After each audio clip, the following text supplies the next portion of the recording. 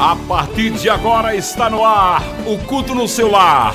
O programa Palavra Viva na direção geral do Espírito Santo. Programa Palavra Viva, apresentação do pastor Chico Chagas e da missionária Angela Berti. Em nosso programa de hoje, os hinos que vão tocar o seu coração as mensagens de Deus para a sua vida, as curiosidades bíblicas, o conselho amigo, a pregação da palavra de Deus. Vamos fazer um culto lindo para o Senhor Jesus Cristo. No ar, o culto no seu lar, o programa Palavra Viva.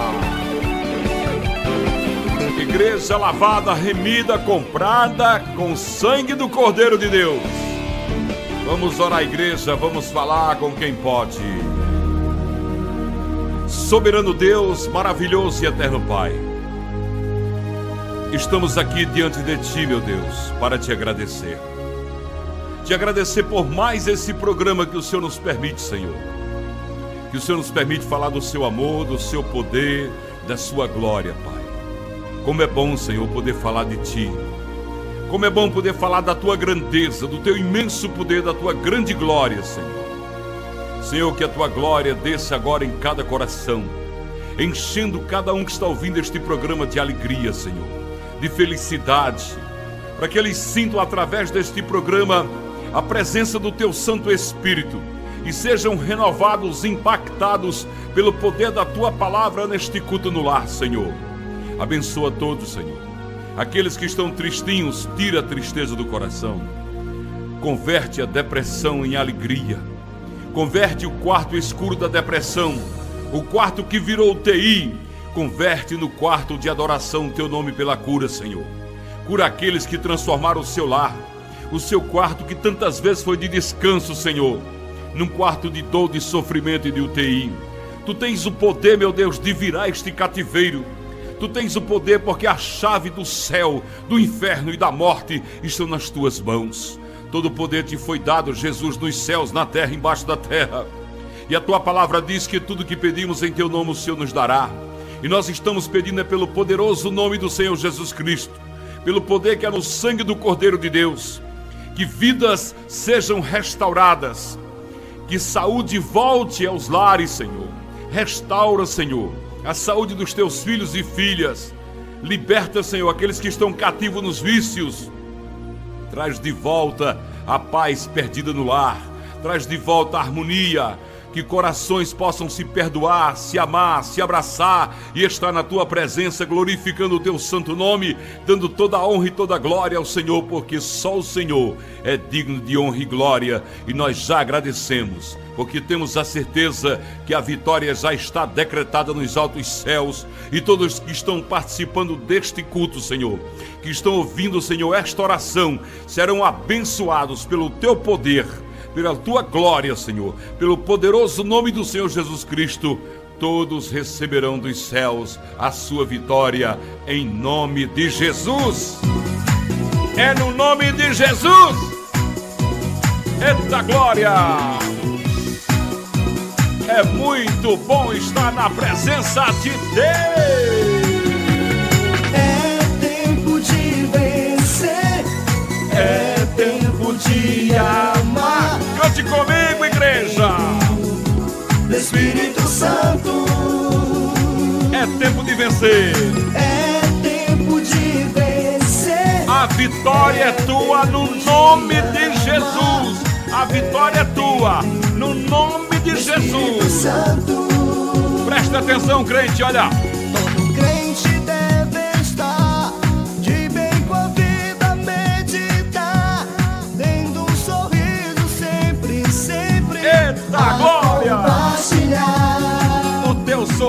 Contagia, Se crente. cantar, cantar, se converter e amar, amar. Você pode amar à vontade, porque o amor está no seu coração. O Espírito Santo. Eita glória!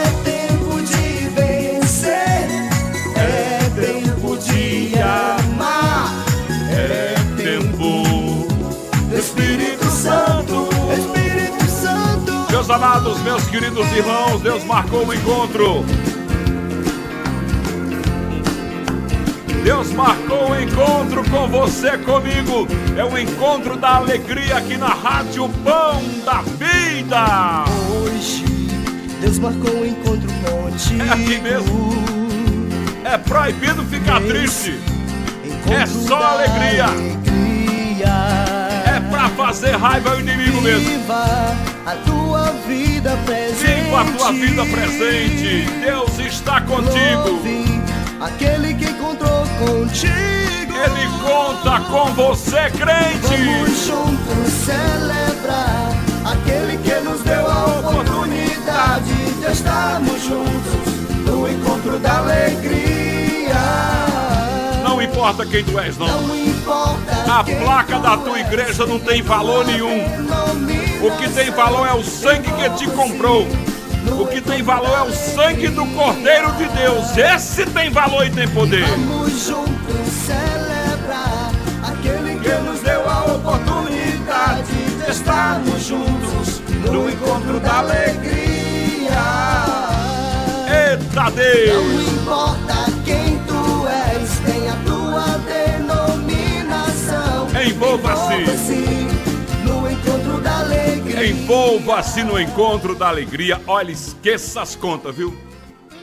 Esqueça as contas. Esqueça os problemas, esqueça as dores. Esqueça as decepções. Esqueça tudo, porque a partir de agora nós estamos na presença do grande rei. E nós estamos na presença dele para glorificarmos o nome dele. E quando a gente adora, as muralhas caem. Quando a gente adora, a vitória acontece. Então, a partir de agora, vamos adorar, vamos fazer um culto lindo para o Senhor Jesus Cristo. Vamos dizer obrigado, Senhor. Obrigado por ter nos comprado com o teu sangue maravilhoso. Obrigado por tudo que o Senhor tem dado, Senhor. A nós, a cada um de nós, a alegria de viver na tua presença, essa paz maravilhosa em meio à tempestade. Você já pensou o que é isso? É a paz na tempestade. Não, não, não, não esquenta a cabeça, não. Não diga que a tempestade está muito forte, porque tu tem um Deus na tua vida que acalma os ventos e a tempestade. É, acalma-te, vento, aquieta-te, mas ele fica tudo quietinho. Ele coloca tudo no lugar. E olha, se tem alguém na tua família que você está batalhando para ganhar para Jesus, pode ter certeza, ele será de Jesus. Está escrito na palavra, e Deus é fiel com a palavra dele. Está escrito em Atos dos Apóstolos, capítulo 16, versículo 31. Aceita o Senhor Jesus, salva a ti e a tua casa. Você não aceitou Jesus? Eu também aceitei. Então a minha casa e a tua casa está salva. A palavra de Deus diz que o marido descrente é santificado pela esposa crente. Diz que os filhos imundos são santos porque a mãe é crente. Então glorifica, exalta o nome do Deus Todo-Poderoso. Vamos juntos celebrar aquele Vamos. que nos deu a oportunidade de estarmos juntos No encontro da alegria. da alegria. Rapaz, você tá vendo essa alegria todinha aqui? Pois é. Deus é muito lindo e é muito maravilhoso. Eu não dormi de ontem para hoje, estou acordado. Não, nem sequer cochilei, nem sequer me deitei. Passei a noite todinha glorificando a Deus, gravando mensagens. Gravei 15 mensagens para colocar no YouTube, nas redes sociais. Deus me deu uma energia grande de ontem para hoje, uma coisa incrível. Somente Deus tem o poder para me dar essa energia toda. Eu sou um homem de 57 anos. Já não sou mais um menininho, um bebezinho. Olha aqui, os cabelinhos brancos. É, isso aqui é idade. É. E além da idade, queridos, eu tenho 57 anos, mas eu me casei aos 14. Eu tenho 12 filhos. Imagina aí você aos 14 anos. Para você ter uma ideia, no ano que eu completaria, no mês de julho, no dia 14, eu completaria 15 anos. No dia, em 10 de janeiro, sete meses antes, sete meses e quatro dias antes eu me casei. Me casei com a minha primeira esposa, da qual fiquei viúvo, vivi com ela 22 anos e ela me deixou cinco filhos. Mas eu tenho 12 filhos. E é 12 filhos, 57 anos, não precisa dizer que um pai de 12 filhos luta muito para dar de comer tanta gente, não é verdade? E muita luta, muita preocupação, mas eu tô aqui feliz na presença de Deus, alegre, glorificando ao meu Deus. Passei a noite toda acordado, Minha esposa disse assim: ó, quando a gente passa a noite com Jesus e assim, a gente não sente sono, não. É vontade de glorificar. É vontade de dizer: Deus, tu és lindo, tu és maravilhoso. Deus me deu mensagens lindas essa madrugada que eu gravei, estou postando nas redes sociais, postei algumas, não deu para postar todas, mas vou postar mais tarde. Quando sair daqui da rádio, vou direto pro pocinho, vou adorar. Quando eu voltar, vou postar.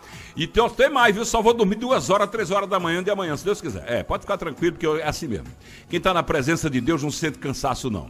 Então fique aí, fique comigo, porque esse programa hoje vai te encher do Espírito Santo. Esse programa hoje vai operar maravilhas na tua vida. Deus vai curar hoje, Deus vai salvar, Deus vai operar milagres e maravilhas hoje, viu? E nós teremos logo mais à noite na Igreja Assembleia de Deus Pão da Vida, lá do bairro Aeroporto, ali na rua Dolores do Carmo Rebouças, pertinho do Parada Lanches, bem pertinho ali do ponto do mototáxi, descendo ali na avenida principal. Ah, depois da loja maçônica, lá na frente, quando, antes de terminar o asfalto, entra à direita, fica logo o primeiro prédio à esquerda. Vamos ter um culto lindo lá. Terça-feira da vitória em Cristo Jesus uma campanha para operar milagres e ganhar almas para o reino de Deus. Hoje vai ser um culto lindo, tremendo. Uma mulher de Deus vai estar pregando lá, vai ser bênção caída do céu. Pode ter certeza disso. E eu estou aqui com você, para nós juntos, eu e você, glorificarmos o nome desse Deus maravilhoso e recebermos o que ele tem para nós. Tá bom, queridos? Quem está aí ligado no programa, com coração preparado para glorificar a Deus, diga daí da sua casa. Você que está na Inglaterra, você que está no Brasil, em qualquer estado, você que está em Mossoró, no Rio Grande do Norte, em qualquer lugar, em qualquer cidade, você que está na Europa, nos Estados Unidos, você que está no Japão, na China, você que está nos países do bloco árabe, onde quer que você esteja, diga assim bem alto comigo assim: Glória a Deus! Glória ao nome de Jesus. Mas grite mesmo. Pode gritar onde você estiver. Pode gritar. Glória a Deus. Grande e poderoso é o nosso Deus. E vamos à luta. Vamos à luta porque tem uma mensagem de Deus agora para o seu coração. Uma palavra de fé. Uma palavra de esperança. Uma palavra de transformação para a sua vida com o pastor Chico Chagas. Aleluias! Meus amados, estou aqui no Salmo 119.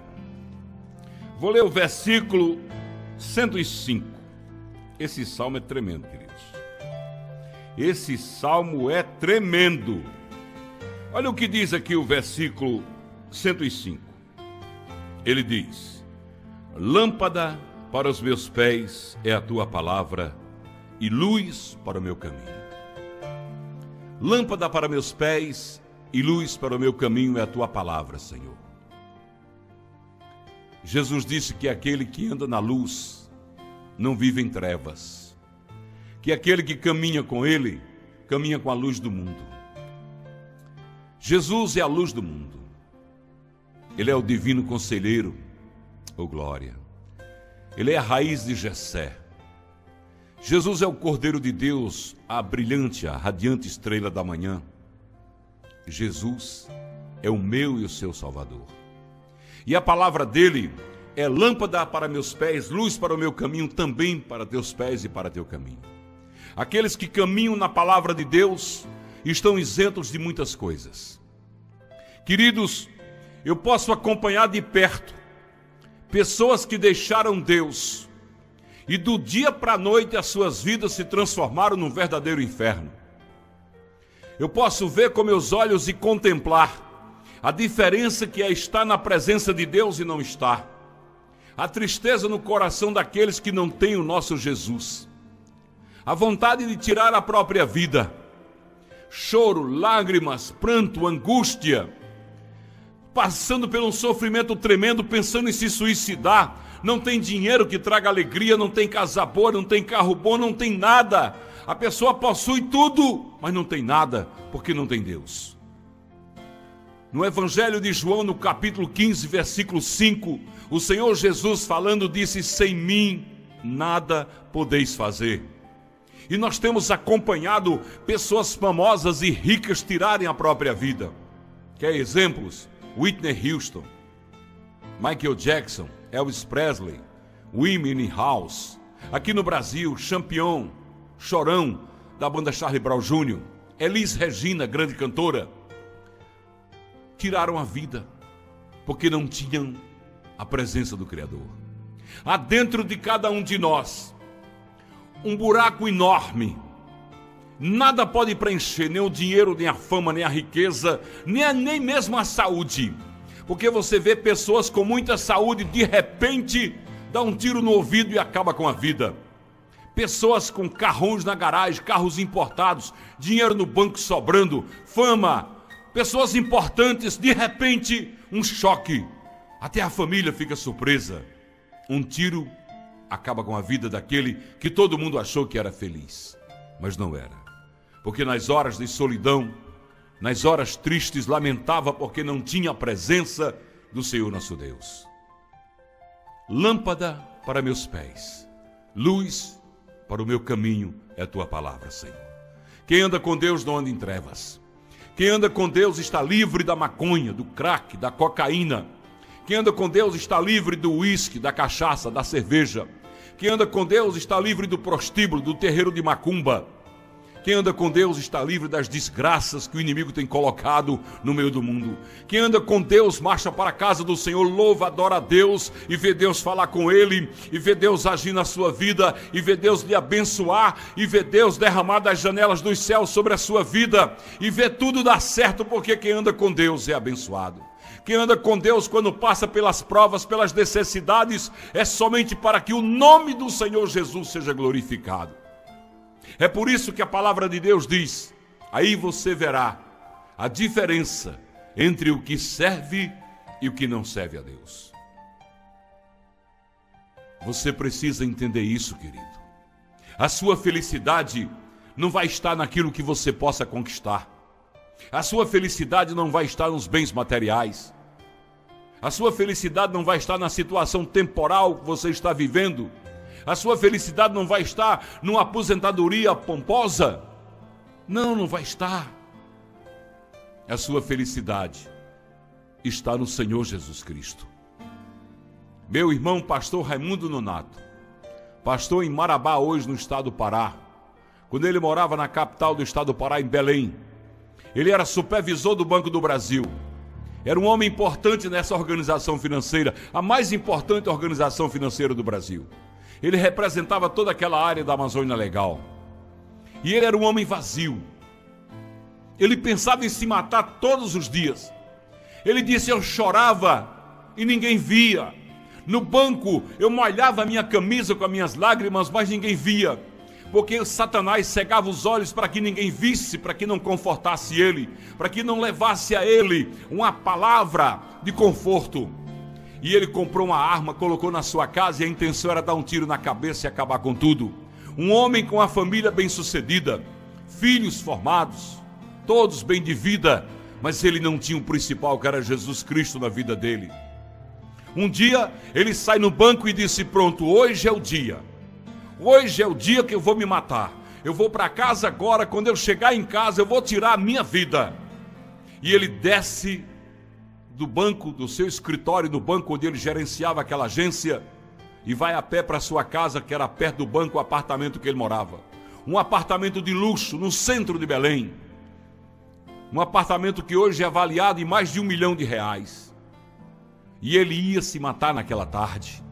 Mas quando ele sai, como ele tem chamado de Deus na vida dele, assim como eu tenho e você tem. Quando ele sai e começa a caminhar chorando por aquela rua, naquelas calçadas, ele vai caminhando já com a intenção na cabeça: vou chegar em casa, vou entrar para dentro do quarto e vou dar um tiro na cabeça, não vou nem falar com a minha esposa.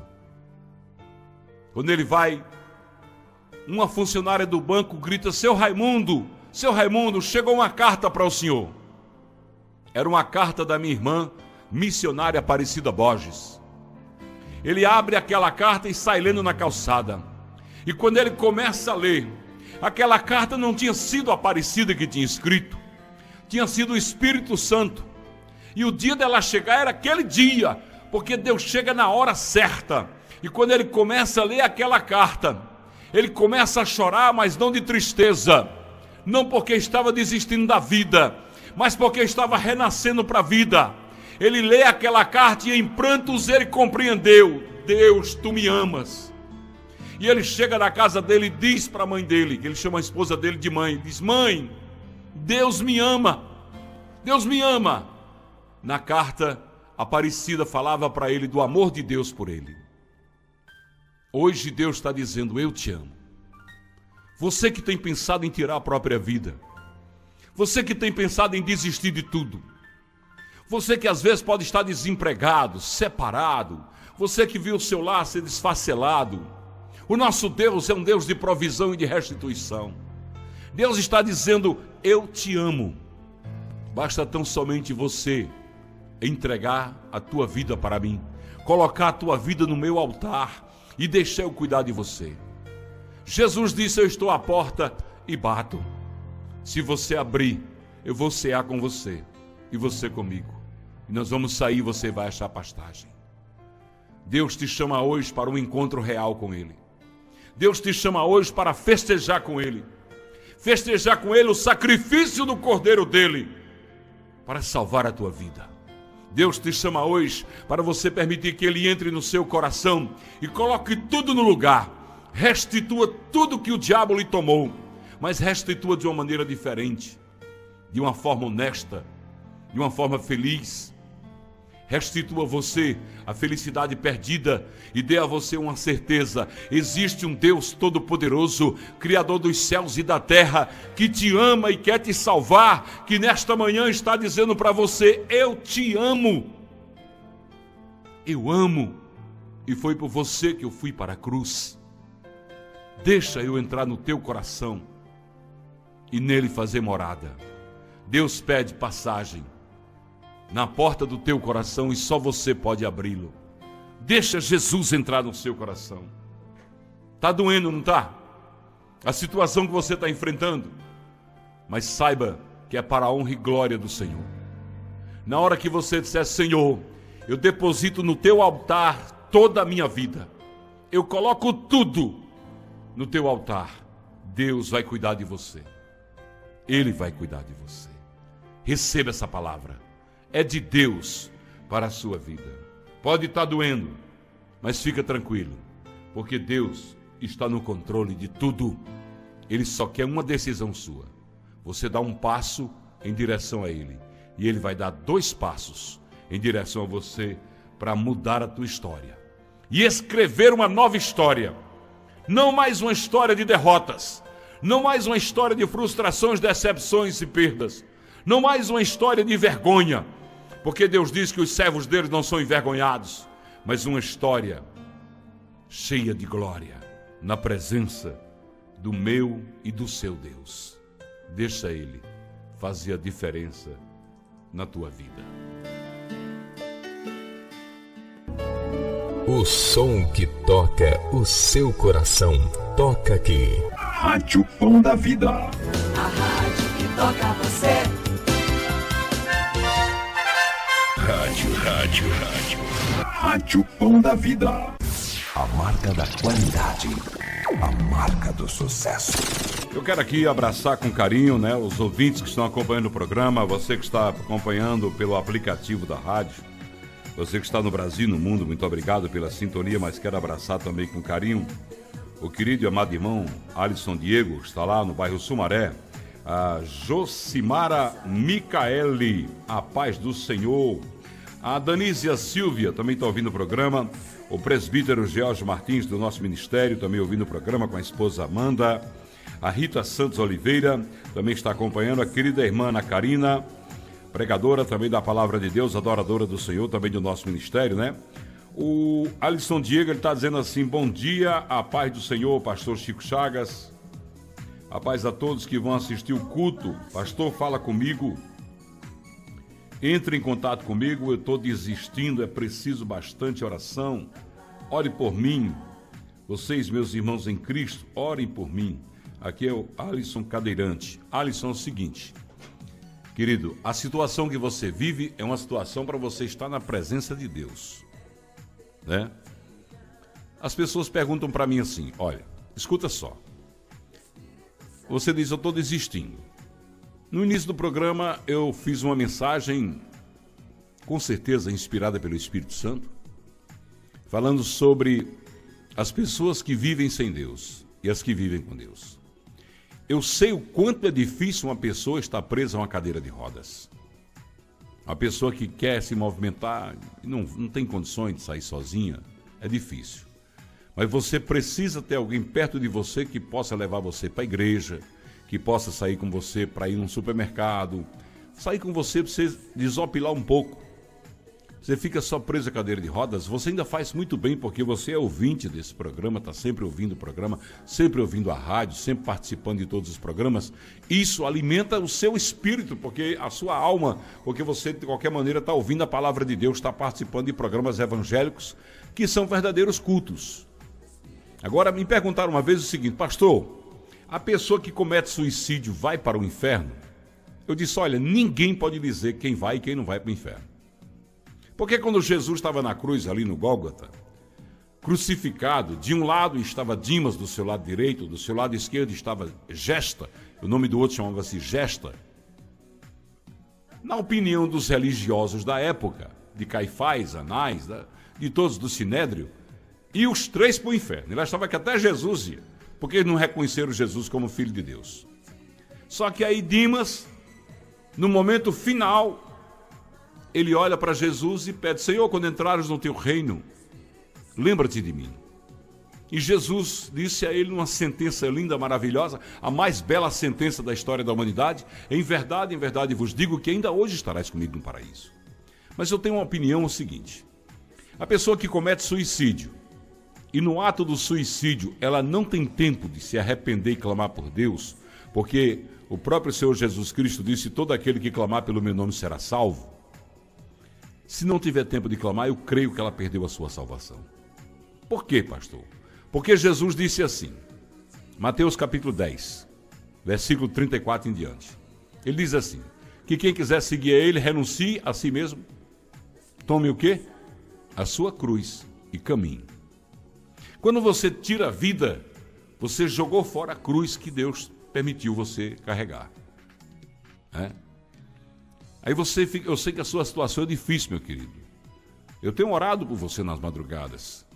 Mas você precisa também ter uma atitude na situação que você está, uma atitude de tratar bem as pessoas que estão à sua volta, sua esposa, seus filhos, seus familiares, e procurar estar sempre na igreja, porque você tem um testemunho a dar.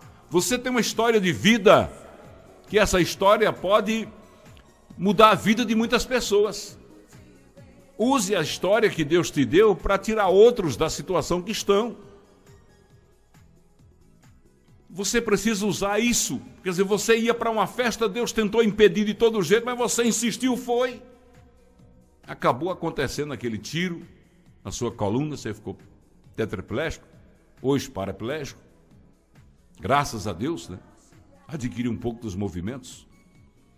Mas a esperança é a última que morre. Quem tem fé em Deus nunca deixa de acreditar em um milagre. Então, viva a sua vida para Deus. Você pega o resto da sua vida e dedique a Deus. Eu tenho dito assim, irmão João, tenho dito assim, irmão João está aqui comigo, tenho dito assim para Deus: Deus, eu vou pedir uma coisa ao Senhor. E quero que o Senhor honre o meu pedido. Meu pedido é de que o Senhor não permita mais eu me afastar do Senhor. Não permita mais, Pai. Não permita mais que eu caia. Porque o apóstolo Paulo disse assim: quem estiver de pé, vigie para que não caia. Então peço, Deus, não deixe mais que eu caia, Senhor. Se eu tiver que cair, por favor, me mate e me leve logo para perto do Senhor. Não deixe mais eu cair, não. Essa deve ser a oração de todo crente, querido. Porque a palavra de Deus diz: o que vale o homem ganhar o mundo inteiro e perder a sua alma? Não é verdade? Você Aqui nós somos apenas meros passageiros, somos apenas peregrinos. O que vale é a eternidade. A eternidade nunca termina. O que vale é a eternidade com Deus. Viu, Harrison? Então vá por mim, querido. E vamos marcar um dia, para você vir na nossa igreja, vir aqui na rádio, conhecer a rádio. Eu quero saber, depois você me diga bem direitinho onde é que você mora aí, que eu vou lhe buscar. Qualquer um dia desse eu vou lhe buscar de manhã, bem cedo, você vem para cá ficar mais eu aqui. Amanhã, vamos combinar para amanhã? Eu vou lhe buscar cedo antes do programa, você vem para cá. E daqui você vai pro pocinho, eu só vou deixar você em casa depois do pocinho. Que de manhã cedo eu vou deixar minha filha na escola, de lá eu já vou buscar você logo. Diga que tem um alimento pra ele, pastor. Como é que é? Que tem um alimento pra ele. Tem? Você vai deixar ele em casa, mas é alimentado, né? Tem, aqui, ah, aqui, você vai comer as tapioca da pastora Jossanete, aqui. É. Casa de pastor não falta comida não, viu? Pão e ovo tem toda hora, porque não tem jeito não, viu? Deixa eu ver aqui a Nayara Catiele, a paz do Senhor, querida, Daiane Gislon, paz do Senhor. A Rejane Ananias, querido Rejane também está ouvindo o programa. A irmã Adriana Carina mandou Salmo 145, versículos 13, 14 e 15. O teu reino é um reino eterno. O teu domínio dura por todas as gerações. O Senhor sustém a todos que estão a cair e levanta todos que estão abatidos. Os olhos, os olhos de todos esperam em ti, e tu lhes dás o teu mantimento a seu tempo. É verdade, querida. Denise a Danísia Silva também um grande abraço, né? Você crê? Eu creio, Adriana. Agora se eu creio. Rosângela Veronese, um grande abraço, querida. A Luziane Santos Araújo, um grande abraço. Um abraço ao Ilcon Márcio Chaves, também ouvindo o programa. O Halisson Ilkson, que está ouvindo o programa, né? A Luziane Santos Araújo, pastor, é, ore comigo. Fui diagnosticada com. Endrometiose. Endometriose. Endometriose, né? O que, é, que é isso, hein? É, é, isso traz uma, vamos dizer que uma incapacidade, né, de fertilidade, de engravidar. Ah, Isso é bobagem. a doença de Ana. Deus, vai, no estalo, resolve. A irmã Francisca lembra disso, pastor? Ela, irmã Francisca, irmã Francisca, Fazendo tratamento. é, chega, não, não, primeiro teve o diagnóstico que ela não ia ter filho. Ela estava no estúdio aqui, aqui no estúdio vizinho à rádio. Eu cheguei, fiquei perto de uma caixa de som, Deus disse, profetiza um filho aí para ela. E aí eu profetizei. Deus está dizendo que você já está grávida. E ela começou a chorar, porque era o sonho dela, não é que tava, nasceu uma bebê linda. Como é o nome da menina dela, hein? Giovana. Giovana, linda, maravilhosa. Não é mais bonita que parece com o pai, mas é- o pai é fake dói. Mas a bichinha nasceu bonitinha, rapaz, graças a Deus. Bom, ela está dizendo aqui, olha, ore, ore comigo, eu fui diagnosticada com endometriose, é doença difícil. Bem na época que eu e meu esposo ia ter um filho, mas creio que já estou curado em nome de Jesus. Hoje e amanhã vou fazer exames bastante delicados e peço oração que a paz do Senhor esteja contigo. É Luziene Santos Araújo, igreja lavada e comprada no sangue de Jesus que está ouvindo esse programa. Vamos orar pela irmã Luziene, porque ela vai fazer os exames. Você sabe aquela história daquela irmã? Bom dia, pastor. Aquela irmã que. Bom dia, pastor. A paz do Senhor. Papai do Senhor. Aquela, Povo de Deus, bom Aque- dia, fala. Aquela irmã que veio aqui, rapaz, que ela disse que foi fazer um exame e o médico viu uma coisa na barriga dela e achava que era um tumor e era criança que estava na barriga dela. Eita Não Deus. enxergou direito. É, não, mas depois. Olha, irmã, como é o nome dela aí? A irmã que falou que vai Lu, fazer. Luziene Santos Araújo. Oi, irmã Luziene, eu vou inclusive pedir à irmã Francisca para mandar o testemunho dela para nós, Tremendo. a nossa edificação. Ela tinha essa doença. E olha que a irmã, a irmã Francisca, ela justamente engravidou no período que ela estava fazendo o tratamento. Que é para confundir mesmo a medicina. Ela estava fazendo o tratamento e engravidou o durante tratamento, o tratamento dessa doença. dessa doença. E durante o tratamento foi que ela engravidou. Como Jesus é lindo, né, minha gente? A Evânia Saldanha, Anne Gamês. Ixi, ela botou aqui Soyes Benite. Será que é italiana? Anne, Anne Gamês, você é de onde? Olha aí o que foi que ela escreveu. Soyes. Não, pastor, você tá perguntando pra mim. Aí, aí, complicou. É, aí não, não, não coloca situação Márcio, difícil vai... Anne, manda dizer de onde você é, de que país você é aí, querida, pra gente saber aqui, viu? A Lurdinha Abreu é outra que está fazendo tratamento também, mas já está curada em nome de Jesus. A, o GM Marques Souza, Lurdinha Souza, nossa querida Lurdinha Souza, um beijo. Todas duas são da nossa igreja. A Silvia Rodrigues, Neide Lima, Ailton da Rocha.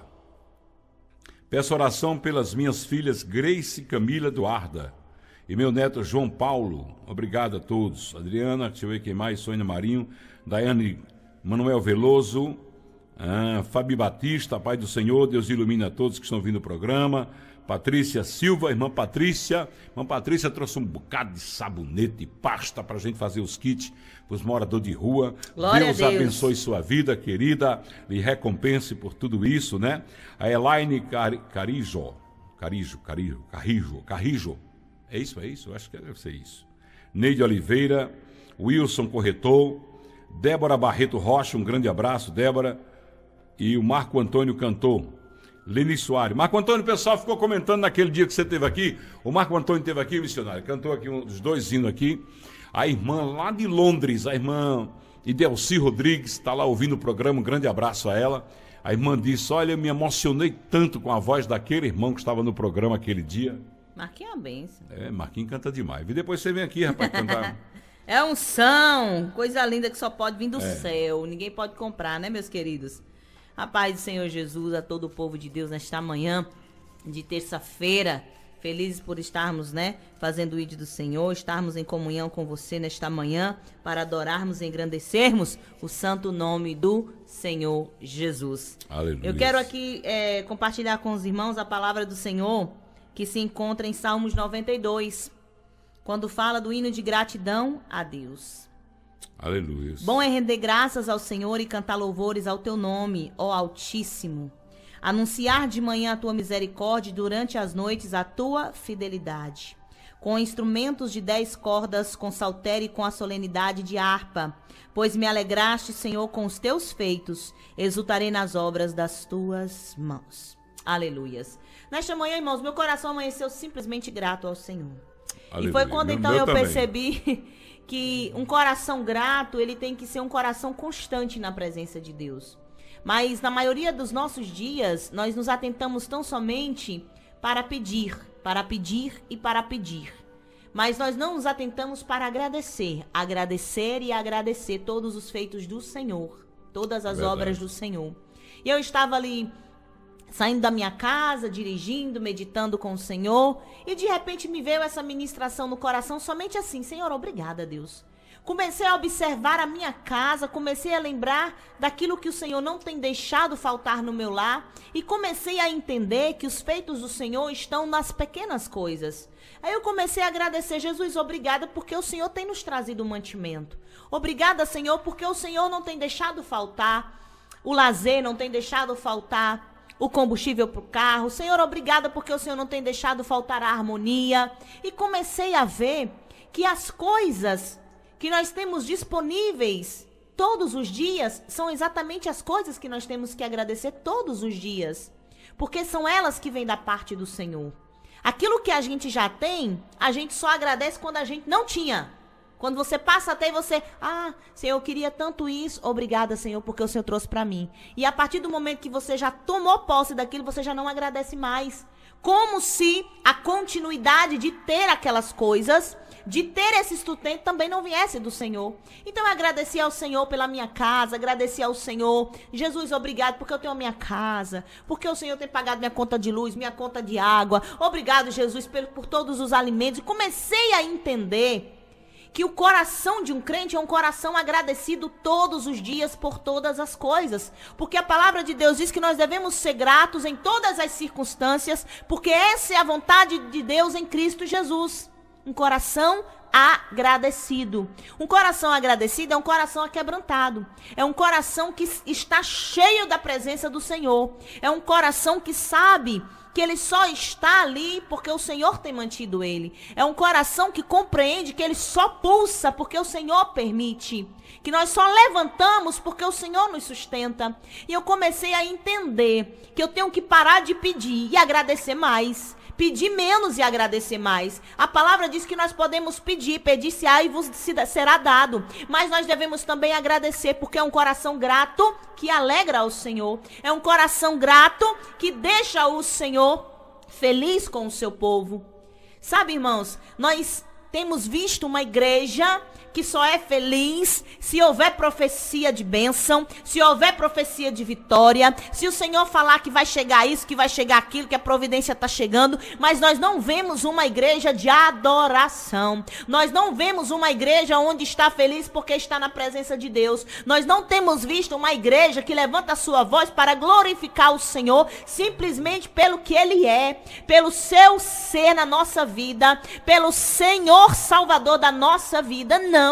É uma igreja que se levanta para aclamar e só pedir. Mas não é uma igreja que se levanta para adorar e agradecer. Nós podemos pedir, mas nós temos que agradecer. Imagina aí.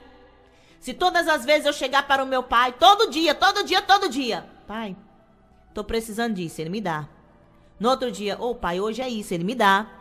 Ô oh, pai, é, é, hoje eu tô é outra necessidade, ele me dá, mas eu nunca digo obrigado. Vou dizer por quê, meus queridos? Por muitas vezes eu observei isso. As inúmeras vezes, e não estou falando isso para me engrandecer, não, é para trazer para nossa meditação nesta manhã. Por muitas vezes eu ajudei algumas pessoas, vou dar alguns exemplos. Eu ajudei, por exemplo, algumas pessoas a ter emprego, pastor. Nunca recebi um obrigado. Você fez para se engrandecer? Não. Para aparecer? Não. Mas o mínimo que a pessoa pode fazer é dizer: Ô oh, irmã, valeu, obrigado. Teve emprego, hoje está bem, não chega nem para dizer obrigado. É verdade. Não, não, não lembra. Na hora de pedir, chega até você, ou se você puder, me ajuda. Aí consegue o que precisa, você chega lá e chega com, a, com aquilo que a pessoa está precisando, com a providência. Não chega para te dizer muito obrigado. Nem que você, no momento, você vai dizer assim, ô oh, irmão, não me agradeça não, agradeça a Deus que eu fui só apenas ferramenta. Mas a pessoa não agradece. Isso é gente que é mal agradecido. Imagine diante de Deus. Você só pede, pede, pede, pede, pede. Todo dia pedindo, pedindo, pedindo, pedindo, pedindo. Enchendo Jesus, sabe? O tempo todo, só de pedidos. E nunca para dizer ao Senhor, obrigada. Senhor, eu estou pedindo isso, meu Deus, mas eu sou grata por isso. Eu me lembrei que certa vez, eu me dei conta que eu não tinha agradecido a Deus, pastor, pelo meu carro. Eu me lembrei quando eu terminei de pagar o meu carro. E de repente eu estava subindo umas escadas e me veio à mente assim: você nunca agradeceu a Deus porque ele te deu esse carro. Na última até a última parcela do carro, eu não tinha dito ao Senhor obrigado, Senhor, pelo meu carro. Porque eu sabia que Deus tinha providenciado. E olhe que o Senhor tinha providenciado de tal maneira que eu nunca tinha atrasado a parcela do meu carro. E naquele momento eu disse, Jesus, hoje eu vou agradecer pelo carro, porque eu sei que foi o Senhor quem me deu, que foi o Senhor quem providenciou.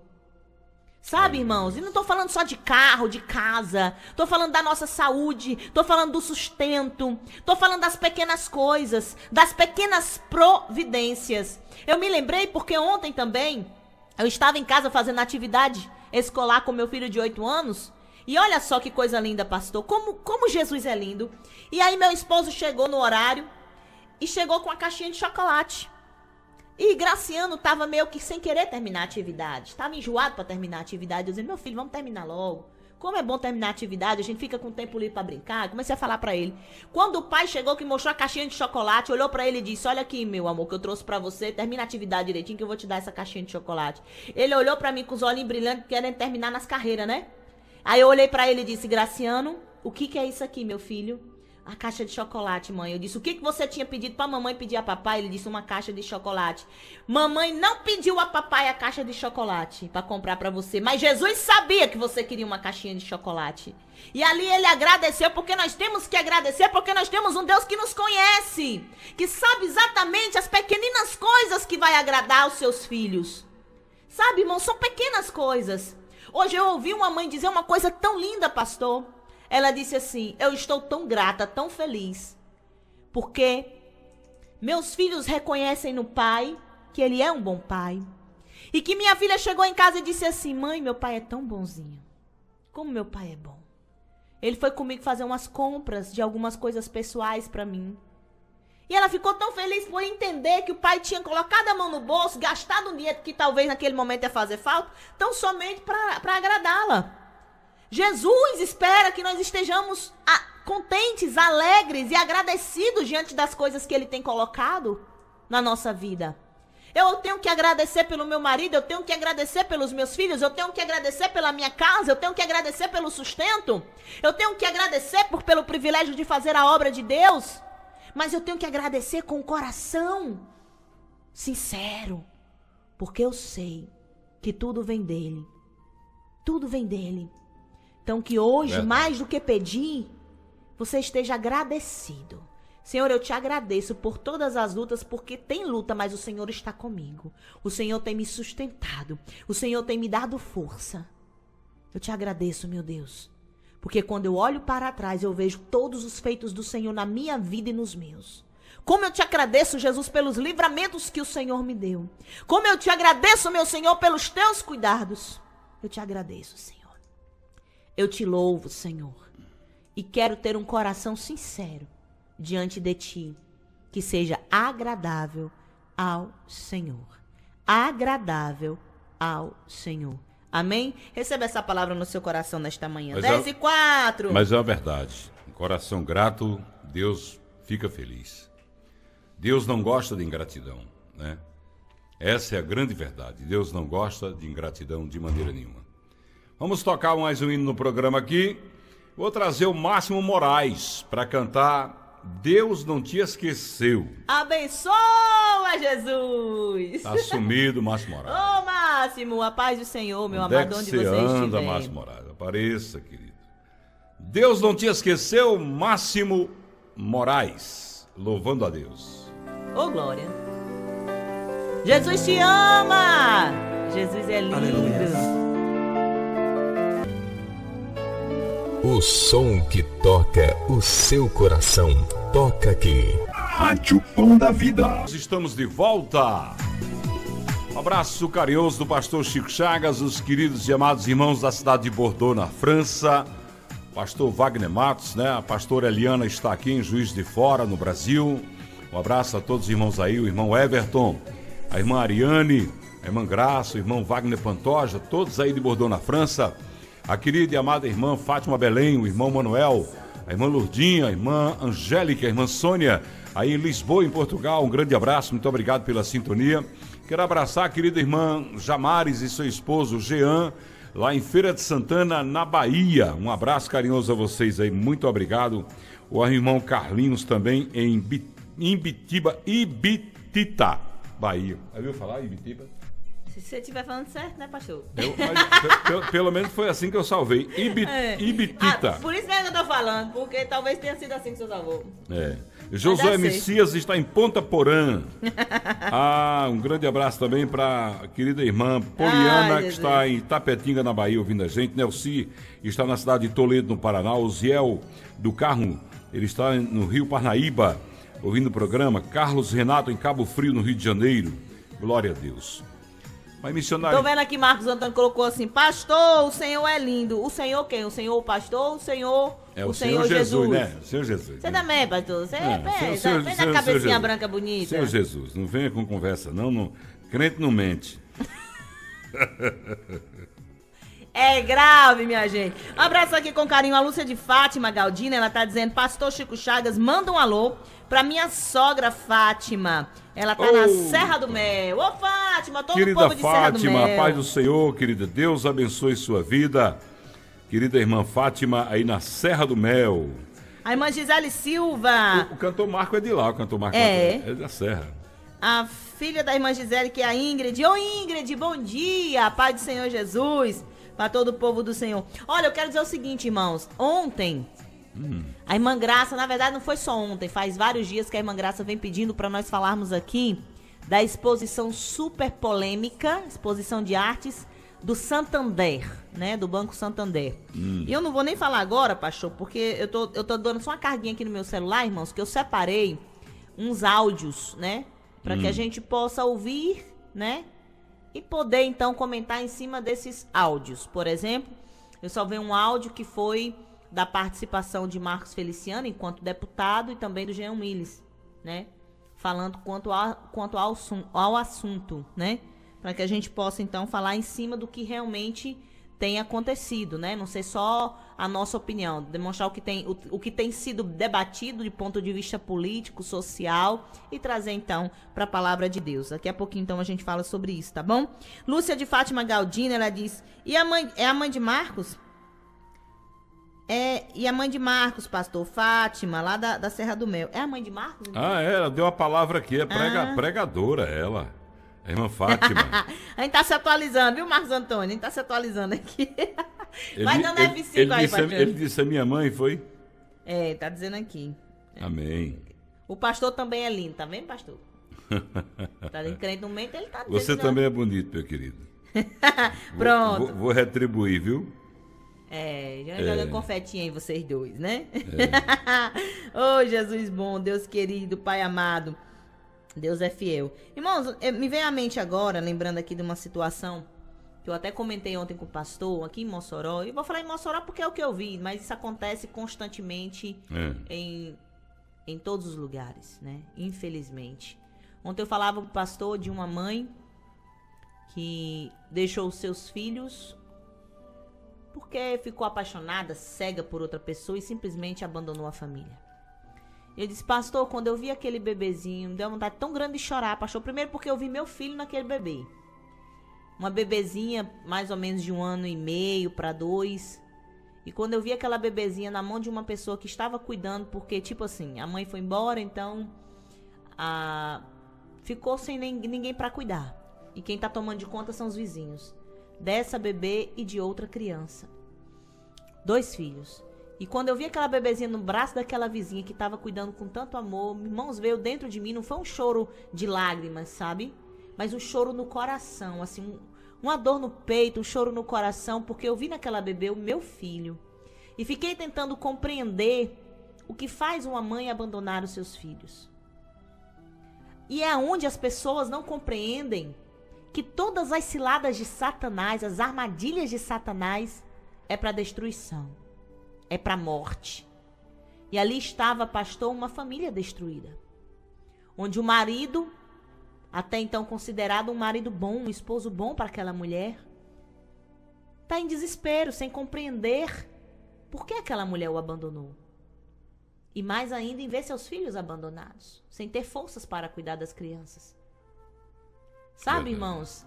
São tantas ciladas que Satanás tem preparado para destruir a sua família.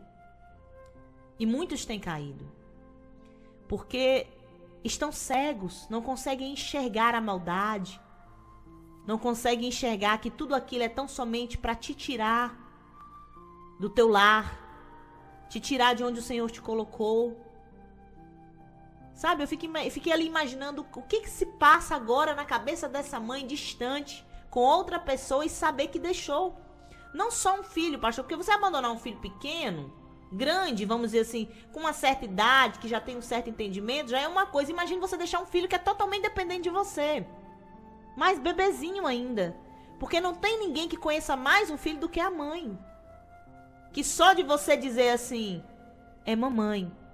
Sabe, às vezes eu deixo o meu filho com uma amiga para ministrar a palavra de Deus, por exemplo, e quando eu chego ele tá dormindo. Quando eu vou tirar ele para pegar nos braços e levar para casa, ele acorda assustado. Aí eu vou e falo assim: "É a mamãe, meu amor". Pronto, ele volta a dormir. Ele só olha para mim, fecha o olhinho e volta a dormir. O acalento da mãe, o cuidado da mãe, a voz da mãe, o cheiro da mãe, o calor da mãe. Verdade. E de repente essas crianças não têm mais isso. Porque entrou uma outra pessoa que invadiu aquela família e levou aquela mulher que até então seria a base, a coluna da casa. Quem de- detinha todos os cuidados, né, pastor? Para com o esposo, para com a casa, para com os filhos. Tudo destruído, tudo acabado, irmãos. Eu tô falando de uma história. Quantas milhares de histórias não tem por aí assim? Famílias destruídas, quando não é o contrário também. Tô falando da- dessa mulher, mas quando a gente vai também pro lado que é o esposo que deixa tudo. Encontrei esses dias na escola do meu filho. Vi, um, vi uma criança saindo da escola, pastor, abraçava tão forte aquele pai, sabe? Ele abraçava tão forte, vinha, abraçava o pai, voltava, abraçava o pai de novo. E eu cheguei pro pai e disse assim: Que amor lindo esse de vocês. E ele disse assim: É, nós somos muito apegados e agora mais ainda porque eu me separei da mãe dele. É, você contando isso aí, eu estou me lembrando aqui de duas coisas. Primeiro que na nossa igreja tem uma irmã que ela é de outra congregação mais na frente da nossa. E ela vende trufas e ela sempre vem para nossa igreja. Nos finais de culto ela traz aquela caixinha. com as trufas para vender. Ela anda com muita dificuldade, é uma mulher de idade. E ela ganhou até uma geladeira agora. Que ela estava precisando, que a dela não prestava mais. E eu conversando com ela, eu disse: A senhora é sozinha? Ela disse: Sou. Não tem filhos? Tenho, tenho filhos. Tenho três filhos. E mora onde? O que está mais perto de mim mora em Fortaleza. Mas não quer saber de mim. Aí na hora eu pensei: que filho é esse que não quer saber da mãe? E ela foi me contar a história. Que quando ela era jovem abandonou os filhos por um homem. E foi viver com esse homem. E hoje os filhos não querem saber dela. Aí eu me lembrei que em 1988 eu era professor da Escola Porantécnica na cidade de Porangatu, no estado de Goiás. E os alunos do terceiro ano se confrontaram com a situação do abrigo de velhos. O abrigo de velhos era dirigido por um grande amigo meu e eles estavam passando uma necessidade muito grande. E foi feita uma campanha na escola para arrecadar alimentos para abrigo de velhos. E eu aproveitei e disse a eles assim: Vamos fazer um negócio, vocês todos aqui amanhã serão pais e mães, não é? Eu vou passar uma tarefa para vocês. Vocês vão fazer um levantamento no abrigo dos velhos e nas suas famílias. Saber por que motivo aqueles velhos estão abandonados pela família. E eles foram, formaram quatro grupos da sala do terceiro ano e foram. E quando chegaram com o resultado da pesquisa, a maioria esmagadora dos, dos velhos abandonados tinham sido péssimos pais. Eles mesmos diziam. E os alunos foram até a casa dos filhos que moravam na mesma cidade, mas que não ia visitar o pai. Não ia visitar a mãe que estava no abrigo. E aos olhos das pessoas, as pessoas pensam assim: que filho ingrato. Mas aí a gente sabe que a gente tem que perdoar como cristão, mas também tem que pensar que pai ingrato, que Deus lhe deu um filho e ele abandonou. E é quando eles trouxeram o resultado daquela pesquisa, foi um, foi um impacto grande, porque aí entrou, eu fiz uma discussão de sala, de, peguei duas aulas, juntei as duas aulas juntas, de 45 minutos cada um, e fomos discutir o assunto. Quais são os motivos que levam um homem e uma mulher a abandonar os filhos? Primeiro motivo: decepção. O pai se decepciona. Hoje, não tanto, mas no passado, naquela época, em 88, quando o pai sabia que uma filha tinha se prostituído ou um filho tinha se tornado homossexual, ele virava as costas e não queria nem ver. Estava para fora de casa, aquela era uma confusão terrível. Segundo motivo, amante. Um amante tira o pai dos filhos. E foi um choque, sabe? Foi um choque. Aquela pesquisa foi uma pesquisa assim que chocou, chocou eles. E quando terminou tudo, eu choquei mais eles ainda, porque quando terminou tudo, eu disse: Olha, você sabe por que eu mandei vocês fazer essa pesquisa? Porque eu fui também abandonado pelo meu pai. Quando eu tinha cinco anos. E foi um abandono diferente. Porque meu pai, ele tinha nove filhos com a minha mãe Haviam falecido três, nós éramos seis, três homens e três mulheres. Eu, Zelito e Nonato, Fátima, Aparecida e Carminha. E meu pai deixou minha mãe com esses seis filhos à deriva, passando necessidade, e juntou-se com outra mulher que tinha cinco filhos com um homem dela lá e fugiu com ela levando os cinco filhos e deixou a gente abandonado. Aí aquilo na hora foi um impacto grande para a gente. Rapaz, papai abandonou. Porque ele tinha trocado, não era só minha mãe, ele tinha trocado os filhos também por outros filhos, que não eram deles. Ninguém conseguiu entender. A cabeça da gente virou. Eu tinha cinco anos de idade, a gente ficou louco. Que aquele homem que de repente oferecia tudo. Eu estou contando isso aqui, queridos, para servir de experiência para vocês. Um pastor ele tem que pregar o que viveu, vive o que viverá. Porque a esperança dele é de viver com Cristo. E naquela época foi um choque muito grande. E sabe o que aconteceu? Aconteceu que 45 anos depois, meu pai passou três anos sem dar notícia. E eu não tenho vergonha de dizer. nós passamos fome mesmo. Nós comemos muita farinha com café por almoço. No quintal da minha mãe tinha muita banana. Mamãe arrancava banana verde que a gente comia porque a fome era grande. Mas não dava para comer não, porque era verde demais. Descia amargando. Meu avô era um homem rico. Morreu, deixou muita terra, muita coisa. Mas minha mãe nunca pediu nada a ele. Porque ele tinha sido contra o casamento da minha mãe. E essa situação mexeu com a gente num ponto que quando o papai mandou anunciar que ia estava voltando para visitar a gente, aí a gente, todo mundo disse, ninguém vai tomar a benção a ele. Eu já tinha oito anos. E minha mãe disse, vai, vai todo mundo tomar a benção a ele. Ele é o pai de vocês. Vai fazer a filhinha, ele vai entrar, vai começar do maior até você, Chico. Todo mundo vai tomar a benção a ele. E o que não tomar aqui, vai pra peia. Minha mãe era dura, era osso duro de roer, viu? Apoiei muito a minha mãe. E foi assim. E sabe o que aconteceu, queridos? Quem planta vento, colhe tempestade. Não tem como você plantar vento e colher bonança, não. Só se a misericórdia de Deus for muito grande. 45 anos depois ele volta canceroso, um câncer nos pulmões, ele não trouxe absolutamente nada, porque nada ele tinha a não ser a vida e a vida muito, muito abalada pela doença. E minha mãe reuniu os filhos. Ela passou 45 anos dizendo: ele pode andar onde ele quiser, ele pode ir para a China, pode ir para onde ele quiser, mas ele vai morrer perto de mim. Ele vai viver os últimos anos de vida dele perto de mim e vai ser sepultado na mesma sepultura. E está os dois sepultados aqui no cemitério central de Mossoró, na mesma sepultura, do jeito que ela disse. E ele morreu primeiro do que ela. Ele morreu no dia 6 de agosto e ela no dia 29 de dezembro do mesmo ano. Está fazendo três anos. E ela reuniu os filhos e eu ouvi da minha mãe dizer: Eu quero fazer um pedido a vocês. E não aceito não como resposta. Ela disse desse que ela era mulher dura. Não aceito não como resposta. Dê ao pai de vocês tudo que ele precisar. Se ele precisar do sacrifício de vocês, eu quero que vocês se sacrifiquem. Mas dê a ele o que ele não deu a vocês.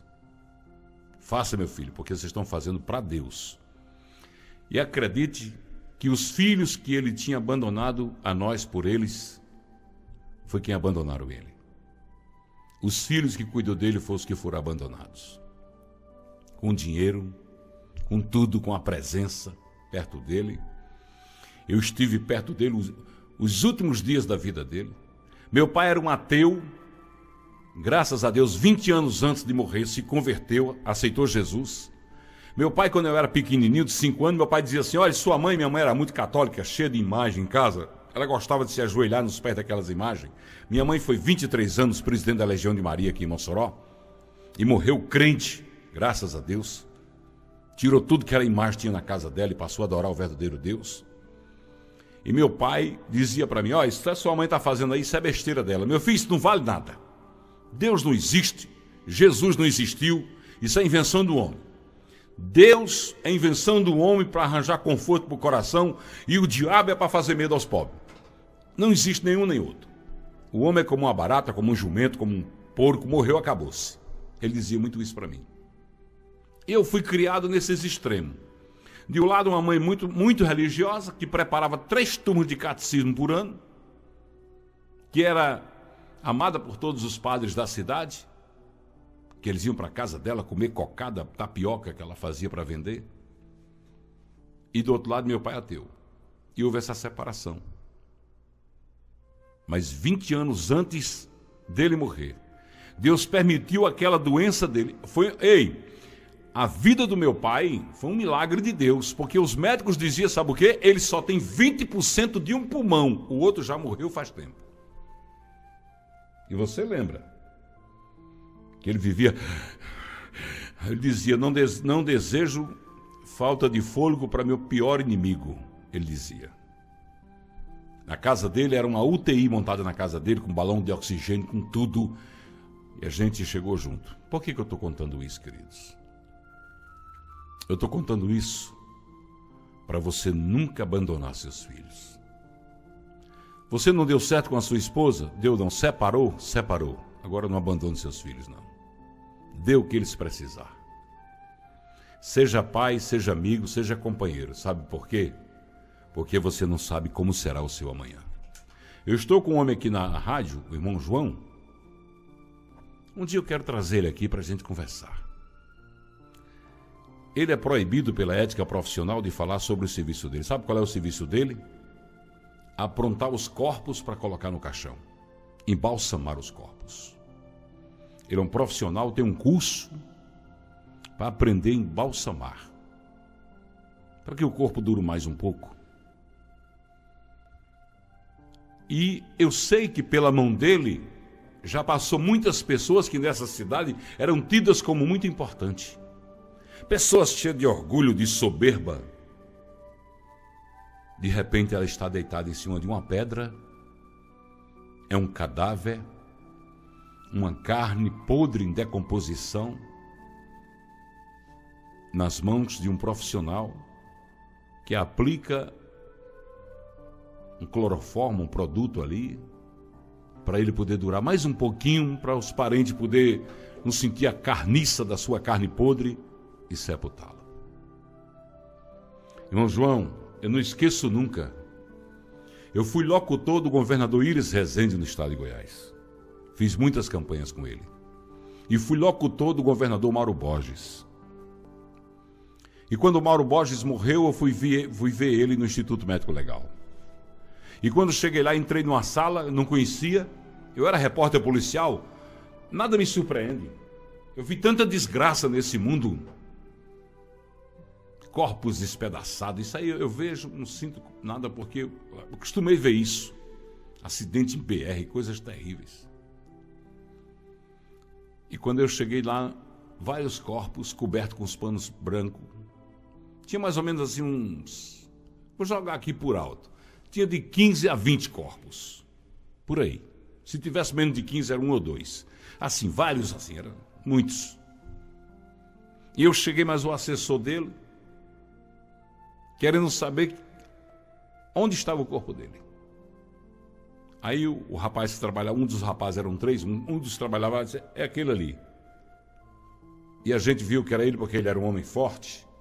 E a gente viu que aquele pano estava mais alto. Chegamos lá, quando puxamos, que eu vi o rosto dele morto ali, aquele homem tão importante. Tinha sido senador da República, governador de Estado. Um homem que mandou em Goiás, ele, ele mandava, ele não era só governador, não, ele mandava em tudo no estado de Goiás. Foi forte aquele homem. Estava morto ali. No dedão do pé dele, uma etiqueta: Mauro Borges. E falei, meu Deus. A vida não vale nada. Desse jeito. E não vale não, querido. Sua vida só vale alguma coisa se você tiver Jesus. Exatamente. Se você não tiver, ó. Então, você não, você não deu certo com a sua esposa, não deu, é, houve uma separação, houve, mas seus filhos não abandonam. Não troque por ninguém, não. Não troque seu filho por mulher, não troque seu filho, se for mulher, não troque seu filho por homem, porque, pode, pode acreditar, essa irmã que eu vejo sofrendo ali, ela disse a mim, eu estou pagando pelo que eu fiz. Eu sei disso. Ela disse a mim, pastor, eu sei disso. Eu estou pagando pelo que eu fiz. E eu vi aqui no corredor da minha casa aqui. Não tem dez dias. Um homem morador de rua chorando aqui. Veio aqui matar a fome. E ele chorando. Ele disse: Eu estou cansado dessa vida. Eu estou cansado de viver na rua como um cão sem dono. Eu pergunto para Deus por que, que eu estou passando por isso. Quando ele disse isso, eu só no pensamento, só em oração no pensamento, eu disse: Deus, mostra para ele por quê. Na hora, na mesma hora, ele disse: Eu sei por quê. Eu falei: Jesus, eu fui rápido, viu? e ele disse: Sabe por quê, pastor? Por quê? Porque eu trabalhava e humilhava minha mulher e meus filhos. Eu ganhava o dinheiro, mas humilhava eles. Eu tirava da cachaça para beber, para farrear, mas quando eles queriam qualquer um dinheirinho para comprar uma sandalinha, qualquer uma coisa, ia no mercado, queria botar uma coisinha a mais, eu reclamava porque estava gastando, porque isso, mas na mesa do bar eu pagava para os amigos e hoje eu estou morando no meio da rua. sem ter ninguém por mim. Ei, psiu. se plantar vento, vai colher tempestade. Que sirva de lição. Eu sei que ouvindo esse programa tem muitos que estão separados. Que infelizmente hoje a separação tornou-se uma coisa normal, o que não era para ser. Abandone quem você quiser, mas não abandone Deus em primeiro lugar. Não abandone seus filhos e não rompa a amizade com sua ex-mulher. Porque você pode terminar os dias de vida nos braços dela como foi meu pai. Gálatas 6:7, parte B. Portanto, tudo que o ser humano semear, isso também Palavra de colherá. Deus. Muito bem, missionário. E para você não ficar triste, que se se sente abandonado, seja por pai, por mãe, por família, por irmãos, por parentes, por amigos, por pessoas de ministério, não sei, saiba que está na palavra de Deus em Isaías 49:15. Acaso pode uma mulher esquecer-se do filho que ainda mama, de sorte que não se compadeça do filho do seu ventre? Mas ainda que esta viesse a se esquecer Aleluia, dele, Jesus. eu todavia não me esquecerei de ti. Eita, Você Deus nunca fiel. está só, porque o Senhor não se esquece de ti. Aleluia. Eita Deus fiel. Vamos trazer o Xavier Araújo cantando Grandioso és tu. Grande é o Senhor! Como tu és grande, Senhor. Esse hino na voz do Xavier ficou lindo, ele colocou uns metais, ficou muito bonito esse hino. Vamos glorificar a Deus. Grandioso és tu, Senhor. Aleluias!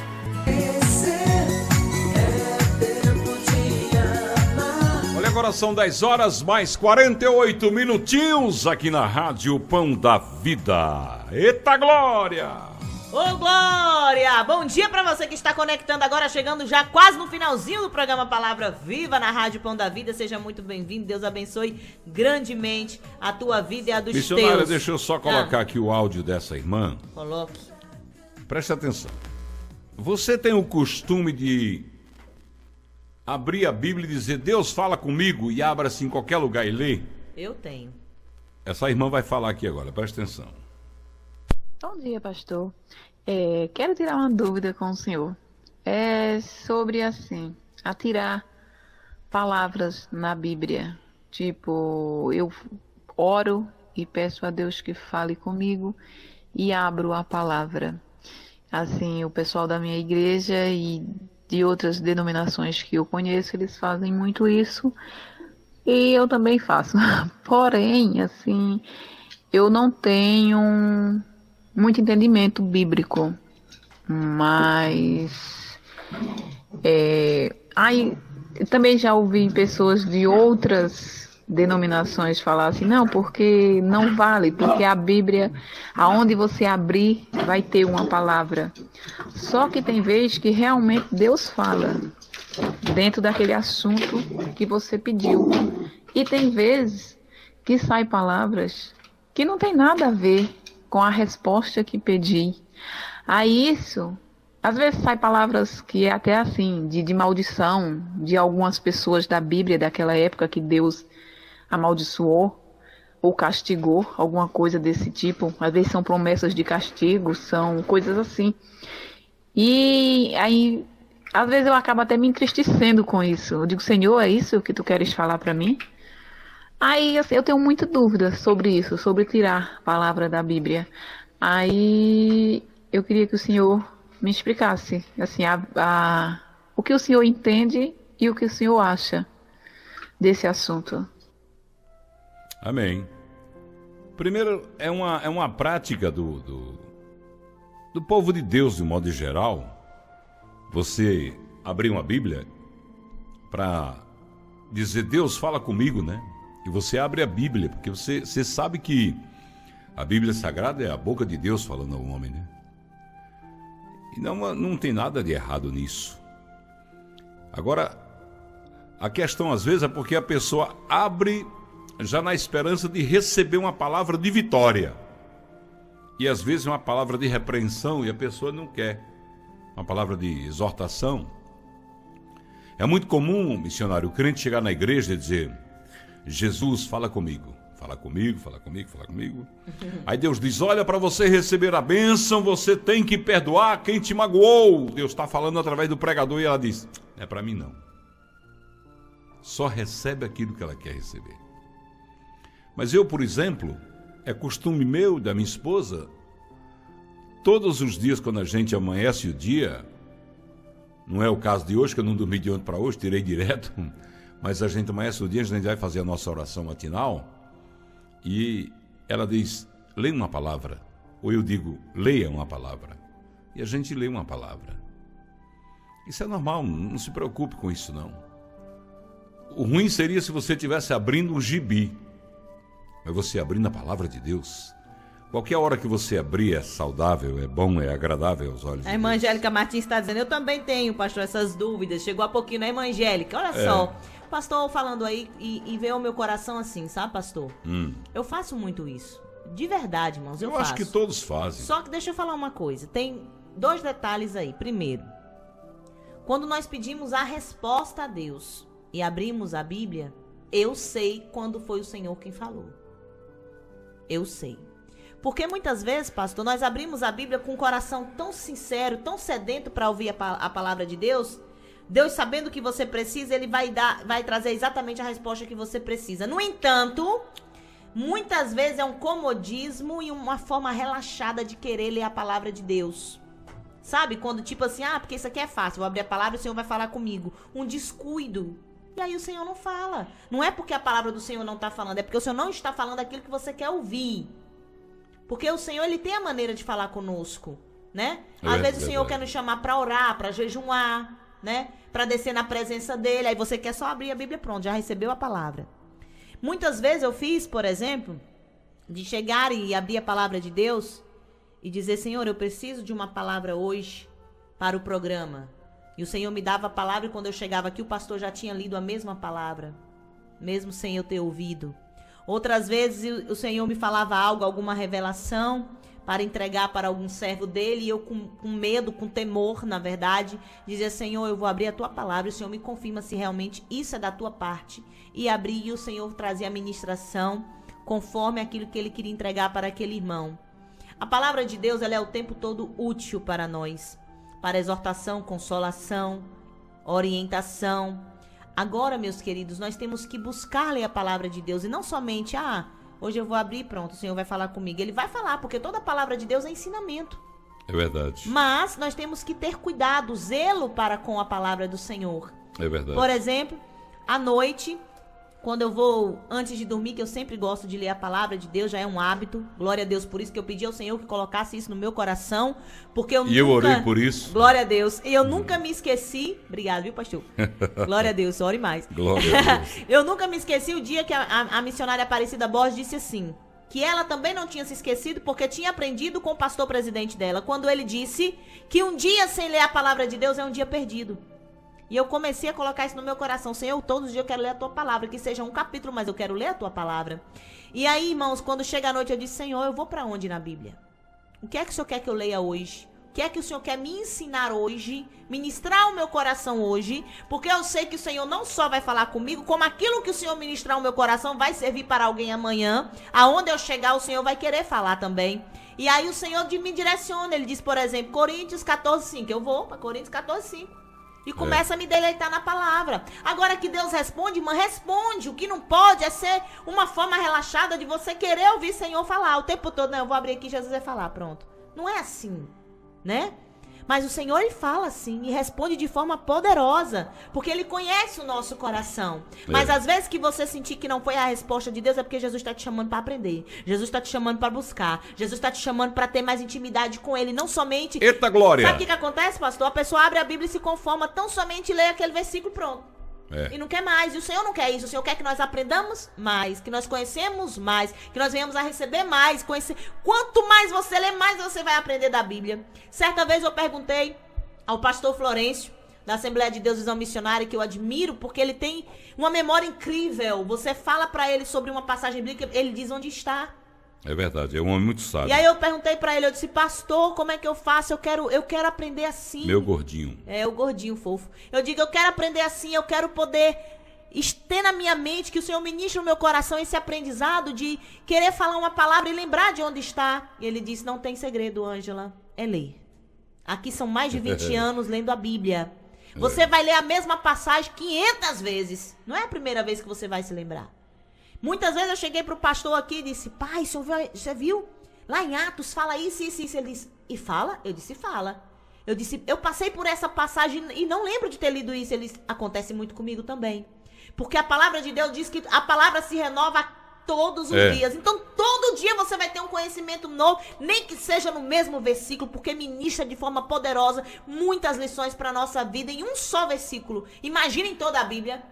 Sabe o que, que eu fico, irmãos? Eu, eu, fico, eu fico querendo aprender tanto que eu fico, Jesus, hoje eu vou para o Antigo Testamento, hoje eu vou para o Novo Testamento e começo para lá e para cá, sabe? E fico sem querer, sem, sem saber para onde eu vou, mas eu vou para onde Jesus me direciona e sempre tem um propósito. Tudo é aprendizado, é coisa linda. Você começa a ler, ler quando você pensa que não, você está lendo muito mais do que o que você esperava. E deixa eu falar uma coisa para você. Eu me lembro que quando eu comecei a ler a Bíblia, o pastor chegou para mim e disse assim: Ângela, comece pelo Novo Testamento. Vai ser melhor. Comece pelo Novo Testamento, depois você vai para o Antigo. E é assim eu fiz, comecei a ler. Irmãos, a sede de conhecer a palavra era tão grande. Eu esperava meu esposo dormindo, dizia, Jesus, coloca logo esse povo para dormir. Graciano só na época, que eu tinha só Graciano. Coloca Graciano para dormir, meu esposo para dormir. Eles dormiam, eu corria pra salinha. Me ajoelhava, orava, pedia o um entendimento da palavra ao Senhor. O Espírito Santo revela a palavra para mim. Me deleitava, colocava a Bíblia em cima, olha, irmão, sentadinha e começava a ler, ler, ler. Quando eu pensava que não. Tinha dias que eu passava tantas horas lendo que eu terminava um capítulo, por exemplo. Eu terminava o livro de Lucas, já entrava em outro. Porque eu tinha muita sede muito mais vontade de aprender. E é isso que nós precisamos ter sede de conhecer, de receber a palavra de Deus, de ter um ensinamento da palavra de Deus. E o Espírito Santo começou a me incomodar. Teve um dia que eu senti um choque. Eu fiquei com tanto medo que fui para dentro do banheiro, pastor. Vou contar porque é verdade, o Senhor sabe. Eu estava dormindo e nesse dia, tipo, eu esqueci. Não deixei passar a hora. Adormeci. Juntamente com meu esposo e meu filho. E de repente eu senti um choque dentro de mim, como se estivesse me dando o mesmo choque. E fiquei assustada, acordei assustada. Fiquei tão assustada que corri para dentro do banheiro e me tranquei lá sozinha. E meu esposo e meu filho no quarto dormindo, ó. E aí depois eu fui entender o Espírito Santo me despertando para continuar a ler a palavra de Deus. E por muitas vezes eu digo ao Senhor, o Senhor me incomoda. Me acorda para me orar, para me falar com o Senhor e para me buscar a tua presença e ler a tua palavra. Tanto é que ontem eu estava tão cansada, tão cansada, e deu 11 horas, e deu meia-noite, a hora foi passando, eu disse, Jesus, o que é isso, hein, que eu não tô com som? Tá errado, alguma coisa Senhor tá querendo falar para mim? O que é que o Senhor tá querendo dizer para mim? O Senhor ministrou meu coração, ore, ore. E eu tão cansada, eu disse, Jesus, eu não tenho condições de ajoelhar, Pai. Eu não tenho forças para ajoelhar. O Senhor disse, ore. Eu disse, tá bom, Jesus, vou orar. Sentei na minha cama, fui orar.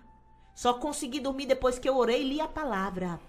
E agora eu quero dizer para você, aquele que tem sede de conhecer a palavra de Deus, ele entende a palavra de Deus porque o Senhor ministra ao seu coração. Inclusive aqui, pastor, teve um irmão, acho que é Rani. Rani, ele perguntou, pastor, e a palavra e, e o curso online? Quem foi que perguntou que foi Rani? Deixa eu falar para vocês. Tá aqui, pastor, começou o curso de teologia? Não, semana que vem nós vamos começar. Já tá tudo pronto. Vamos só começar agora, nós estamos já na fase de gravar as aulas, tá tudo ok. Aí o que é que eu quero de vocês? Que vocês abram um e-mail. Quem não tem e-mail, crie e-mail. Eu queria que você criasse e-mail da Gmail. Por quê? Porque é grátis, você não vai pagar e porque é fácil mandar o material para você por e-mail. As aulas em vídeo, em áudio, escritas, provas, para você responder. Deixa eu falar para vocês, esse curso, quero aqui mandar um abraço, antes de eu falar sobre isso, mandar um abraço carinhoso para a irmã Regilene. Eu estou aqui teclando com ela no WhatsApp. A querida irmã Regilene, ela está em Jaíba, em Minas Gerais. E ela escreveu tão bonitinho aqui, ela colocou: Deus abençoe vocês. Muito obrigado por estar orando por mim, pela minha família, estou precisando muito. Acompanho sempre suas mensagens e através delas Deus tem falado comigo. Outro dia eu estava desanimada, tentando fugir dos problemas, e como Deus me chamou para fazer a obra, Satanás estava sugerindo que eu desistisse. Mas o Senhor te usou para falar comigo através daquela mensagem que dizia: sai da caverna. Na hora eu tomei aquela palavra para mim, saí da caverna e retomei a minha vida para a honra e glória de Deus. Deus realmente te usa para quando precisamos de uma direção ou quando não sabemos o que fazer, que continue te abençoando e te usando para levar a palavra, porque através de vocês Deus tem ouvido os conselhos, nós temos ouvido os conselhos de Deus. Tem dias em que o cansaço das lutas me deixa um pouco desanimada, sem saber o que fazer e até sem palavras para orar. Mas quando recebo essas mensagens, me fortaleço, porque sei que é a voz de Deus me dando forças para continuar minha luta. Amém, Gente, estou maravilhada. Consegui baixar o aplicativo da rádio e é só bênção de Deus. Manda um oi abençoado para mim e para minha família. E ela colocou, eu coloquei, como é seu nome? Onde você mora? O estado e a cidade? Ela colocou, meu nome é Regilene, eu sou de Jaíba, estado de Minas Gerais. Um abraço, minha amada. Deus oh, um abraço abençoado, pastor. É, uma, é um abraço abençoado, abençoado. eu fico muito feliz, você não sabe o quanto eu estou feliz em saber que você tem recebido a mensagem de Deus, Deus falando com você através dessas mensagens. Que glória, que maravilha. Que Deus abençoe o seu ministério. Que Deus te levante como boca profética para a sua família e para todos que cruzarem seus caminhos. Aleluia. Que Deus te use poderosamente na terra. Querida irmã Regilene e toda a sua família, aí na cidade de Jaíba, Minas Gerais. Ô, pastor, eu queria aqui colocar falar de, algo. Deixa, deixa, eu só concluir Sim, conclui, aqui. Desculpa. Deixa, deixa, desculpa, é, deixa eu só desculpa, concluir. Você me desculpa? Você Pronto. perdoa, perdoa? Olha, a, a missionária, é. a questão do, do da, é, da escola. Escola teológica Pão da Vida. Por que escola? Porque existem institutos, existem faculdades, institutos teológicos, faculdade teológica, não sei o que teológico. Não, eu resolvi colocar escola porque eu pensei assim, meu Deus, quantas pessoas tem que não tem muito estudo e que quer aprender a palavra de Deus? Pessoas que mal frequentaram escolas, outras que nem frequentaram, aprenderam na escola da vida mesmo, mal sabe ler e escrever, e elas vão participar desse curso. Esse é um curso para todo mundo, queridos, não é aquele curso complicado, é um curso simples que você vai entender a palavra de Deus, vai entrar na sua cabeça de uma forma tão maravilhosa, porque nós estamos orando, consagrando a Deus esse trabalho e pedindo a Deus que seja uma luz para a sua vida, para você entender a palavra de Deus, para você compreender a palavra de Deus. Vai ser um curso fácil de fazer. Agora preste atenção. Esse curso, ele vai custar 50 reais por mês. Pastor, é caro? É não nós temos uma despesa altíssima com a manutenção do site, com a equipe que vai estar atualizando as aulas, com o material que a gente vai enviar para você, com a toda uma preparação, há uma equipe trabalhando. Há uma internet de altíssima velocidade para mandar as aulas. Vai ter a sala de bate-papo, a aula ao vivo, vocês comigo. Você vai ter condição de entrar na internet, conversar comigo. Se você não tiver como conversar comigo, você vai conversar comigo pelo WhatsApp. Vai ter um WhatsApp só da escola. Só da escola só para os alunos. Só os alunos vão ter acesso a esse número para tirar qualquer dúvida, para questionar qualquer coisa, para falar qualquer coisa, o que eles quiserem falar, para dar sugestão, para receber um esclarecimento a respeito de um estudo. Tudo, a intenção é ensinar a palavra de Deus. 50 reais por mês. Se você passar no cartão de crédito um ano inteiro, os 12 meses, se você passar no cartão de crédito, esse valor vai cair para 30 reais. 30 reais. Uma economia muito grande. Esse dinheiro é para manutenção da faculdade e acredite, o que sobrar a gente vai investir na obra. Você vai estar aprendendo a palavra de Deus e ajudando a obra de Deus, que quando você aprende a palavra, você vai estar ajudando a você mesma e a você explicar às pessoas o que é a palavra de Deus. É tão bom quando você está numa igreja ou em qualquer lugar e alguém começa a pregar, você sabe o que ele está falando, você entende, você compreende, e de uma maneira simples. Queridos, vai ser tão simples. Vocês vão aprender tanto. Nas primeiras aulas, vocês vão ficar maravilhados. Porque eu entrei, olha, eu me matriculei em três escolas na internet. Cheguei a pagar só de matrícula 190 reais. Só para mim conhecer, para mim entrar no sistema deles e saber como é que eles estavam ensinando a palavra de Deus. Mas é muito difícil daquele jeito. São palavras difíceis. São termos teológicos que não são trocados em miúdos. E a gente vai explicar tudo, minuciosamente. É claro que você vai saber o que é hermenêutica, exegese, você vai saber o que é, tudo isso, você vai aprender tudo. Só que de uma maneira simples, numa linguagem simples. As aulas serão gravadas por mim, pela missionária Ângela Berti, pelo meu filho Jomar Bezerra, as aulas pelo, pelo missionário Gabriel. Serão tão simples, queridos. Vocês vão ver como vai ser fácil. Eu queria aqui, pastor, também é, ressaltar nessa questão, irmãos, do valor. Nós estamos aqui muito preocupados com a questão da qualidade, não só do ensino. É, para vocês. A forma simples de vocês aprenderem. Porque eu passei por isso. Né? Quantas vezes eu tive que ligar para o pastor aqui, meu pai, e dizer: pai, eu vou ministrar hoje a palavra de Deus. Eu, tô, eu vou ministrar em tal, em, em tal capítulo, em tal livro. Isso aqui, o que, que quer dizer? Eu queria saber mais, entender de uma forma simples, para poder também pregar de uma forma simples, para quem está ouvindo entender a mensagem do Senhor. Exatamente. Não é para falar bonito nem eloquente, porque o evangelho ele é simples. As pessoas querem fazer tanta coisa, fazer tanta coisa mirabolante e o povo não entende. Sai Eu... da igreja às vezes sem compreender aí, a mensagem. Olha, aí vamos supor que você não tem computador, não tem um tablet, só tem seu celular e WhatsApp. E aí, pastor, como é que eu faço? Você vai fazer pelo WhatsApp. A escola vai ser ministrada pelo WhatsApp. Você vai aprender pelo WhatsApp, com o seu celular. É uma forma de facilitar para que as pessoas entendam a palavra de Deus. Você vai receber as aulas em vídeo. Pastor, mas eu mal sei ler, não se preocupe não, a gente vai ensinar você. Você vai aprender a palavra de Deus. Até aquelas pessoas que são analfabetas, que não sabem ler nem escrever, se elas quiserem se matricular, elas vão aprender a palavra de Deus. Porque nós vamos ensinar de uma forma muito simples. Na primeira aula, você já vai entender tanta coisa que você vai dizer assim: Meu Jesus do céu. E eu disse assim, sabe, irmãos? Eu disse: Olha, pastor, o vídeo tem que ter qualidade. Porque eu é. tenho assistido, inclusive, um, uns, umas videoaulas para para mim poder fazer a, a OAB, a prova da OAB.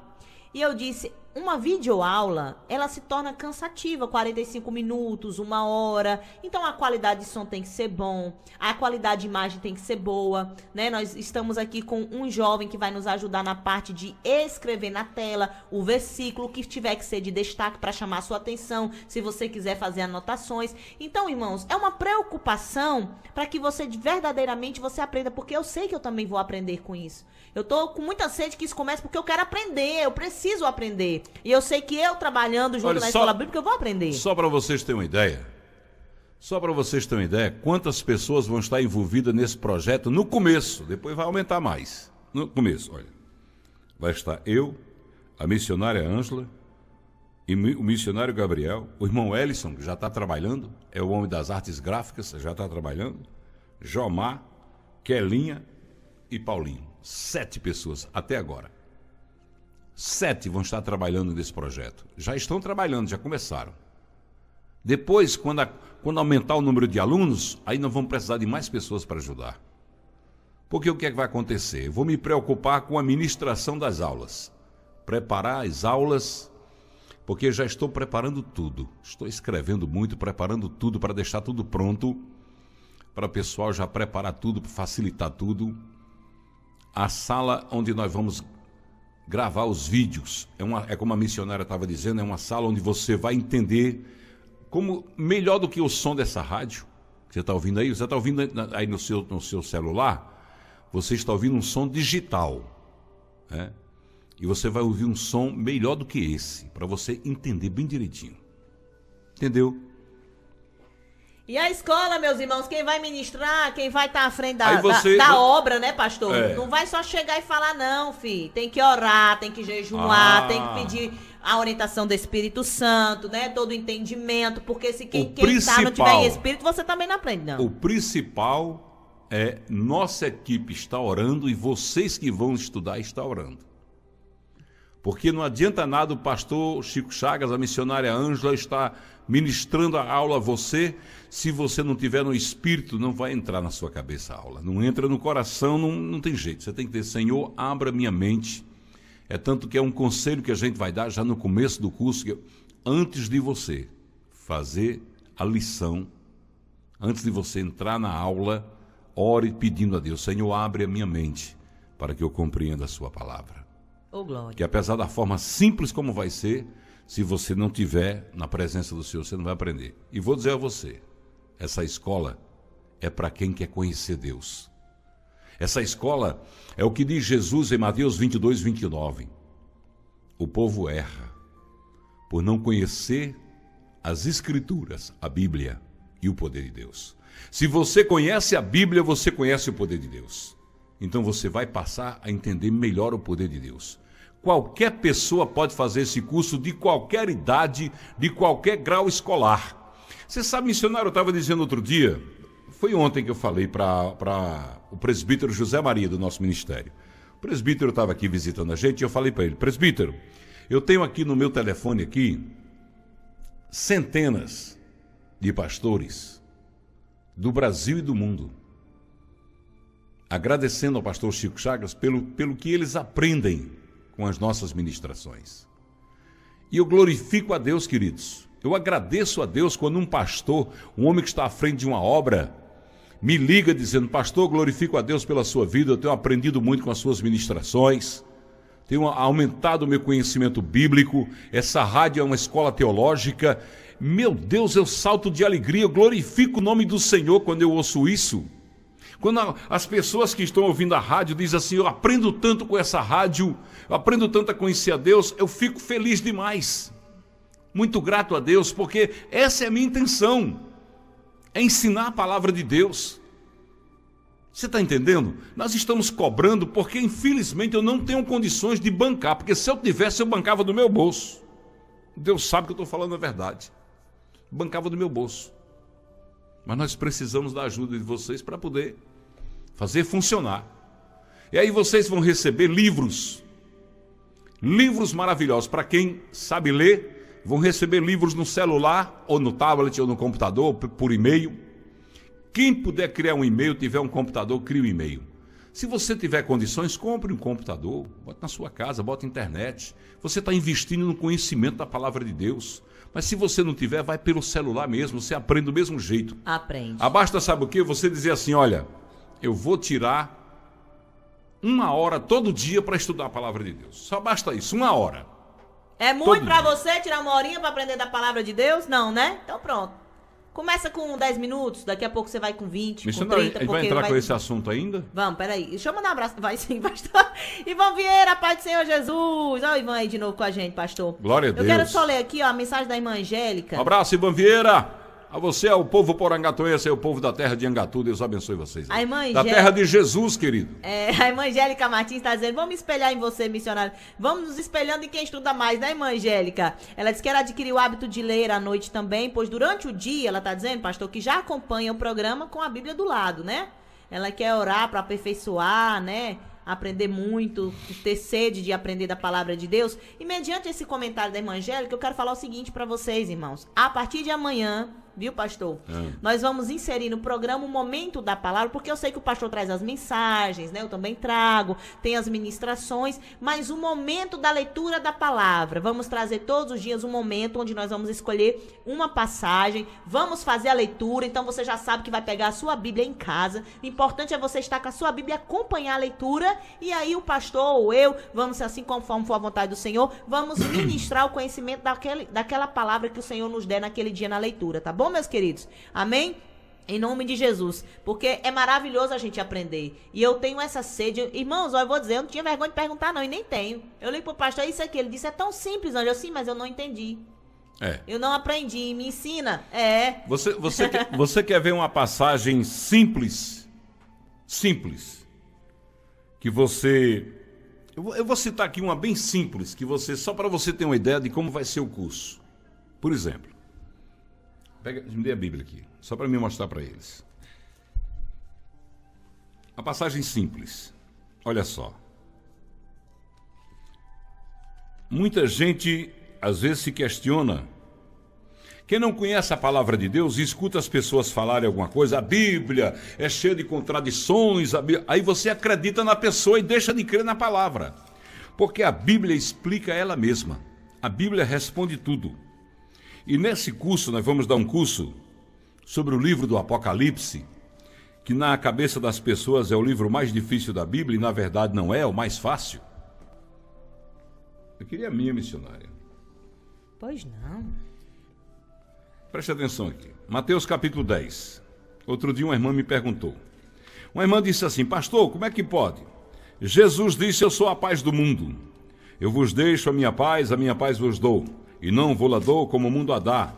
Em Mateus capítulo 10, versículo 34, Deus está dizendo: Não vim vos trazer a paz e sim a espada.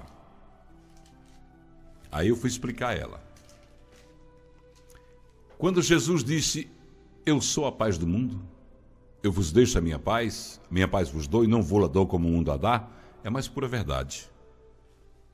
Porque a paz do mundo é uma paz mentirosa. Você quer saber como é mentirosa? Você só chega na sua casa assustado, com medo do assaltante. No mesmo instante que você está feliz porque comprou uma moto nova, comprou um carro novo, é, comprou uma casa, conquistou qualquer bem, você já está preocupado em alguém lhe tomar. Isso é a paz do mundo. A felicidade vem junto com a, com a perturbação, com a preocupação. Então, por isso que Jesus disse: Vos dou minha paz e não vou lá dou, quer dizer, não a dou como o mundo a dá. Mas quando ele diz em Mateus, capítulo 10, versículo 34, ele diz assim: Não cuideis que vim trazer a paz à terra. Não vim trazer a paz, mas a espada. Porque eu vim pôr em disseção o homem contra seu pai, e a filha contra sua mãe, e a nora contra sua sogra. E assim os inimigos do homem serão os seus familiares. Pronto, a própria Bíblia já respondeu. A paz que a espada que ele disse que veio trazer, a Bíblia é chamada de espada. Para você batalhar, para você lutar. Põe em disseção é porque quando você aceita o Senhor Jesus Cristo, o pastor Wagner está ligando, vê se ele quer participar. Pastor Wagner está ligando lá da França agora. Nós estamos nesse momento com audiência em quase 40 países. Estão acompanhando a rádio nesse momento. Mais de 30 países. Nós somos a rádio gospel, a, na web rádio, a mais ouvida em mais de 30 países e a mais ouvida no Brasil. Nós temos milhares e milhares de ouvintes ouvindo essa rádio no Brasil inteiro. No meu telefone aqui, só contato de ouvinte eu tenho quase 10 mil. Bom, aí Deus diz assim: Não vim vos trazer a paz sem a espada. Ao mesmo tempo ele responde: Porque eu vim colocar em disseção a filha contra o pai, o filho contra o pai, a nora contra a sua sogra. Por quê? Porque você quer ver briga, você seja um católico e aceite Jesus, passa a ser crente. Na sua casa todo mundo já começa a guerra. E aí você vai ter o quê? Você vai ter a espada para lutar. A Bíblia. Você vai dizer: Não sou eu, é o meu Deus, está aqui. Você vai por aqui. Quer ver outro, outra afirmação para você aprender? Quando Jesus diz assim: Não se deita vinho novo em odres velho. Muita gente fica, nossa, não se deita vinho novo em odres velho. O que Jesus quis dizer com isso? Jesus quis dizer o odre. Primeiro vamos explicar o que era o odre. O odre era um recipiente, uma bolsa feita de couro de animal, que era costurada, vedada para colocar vinho o vinho era colocado ali para ele envelhecer.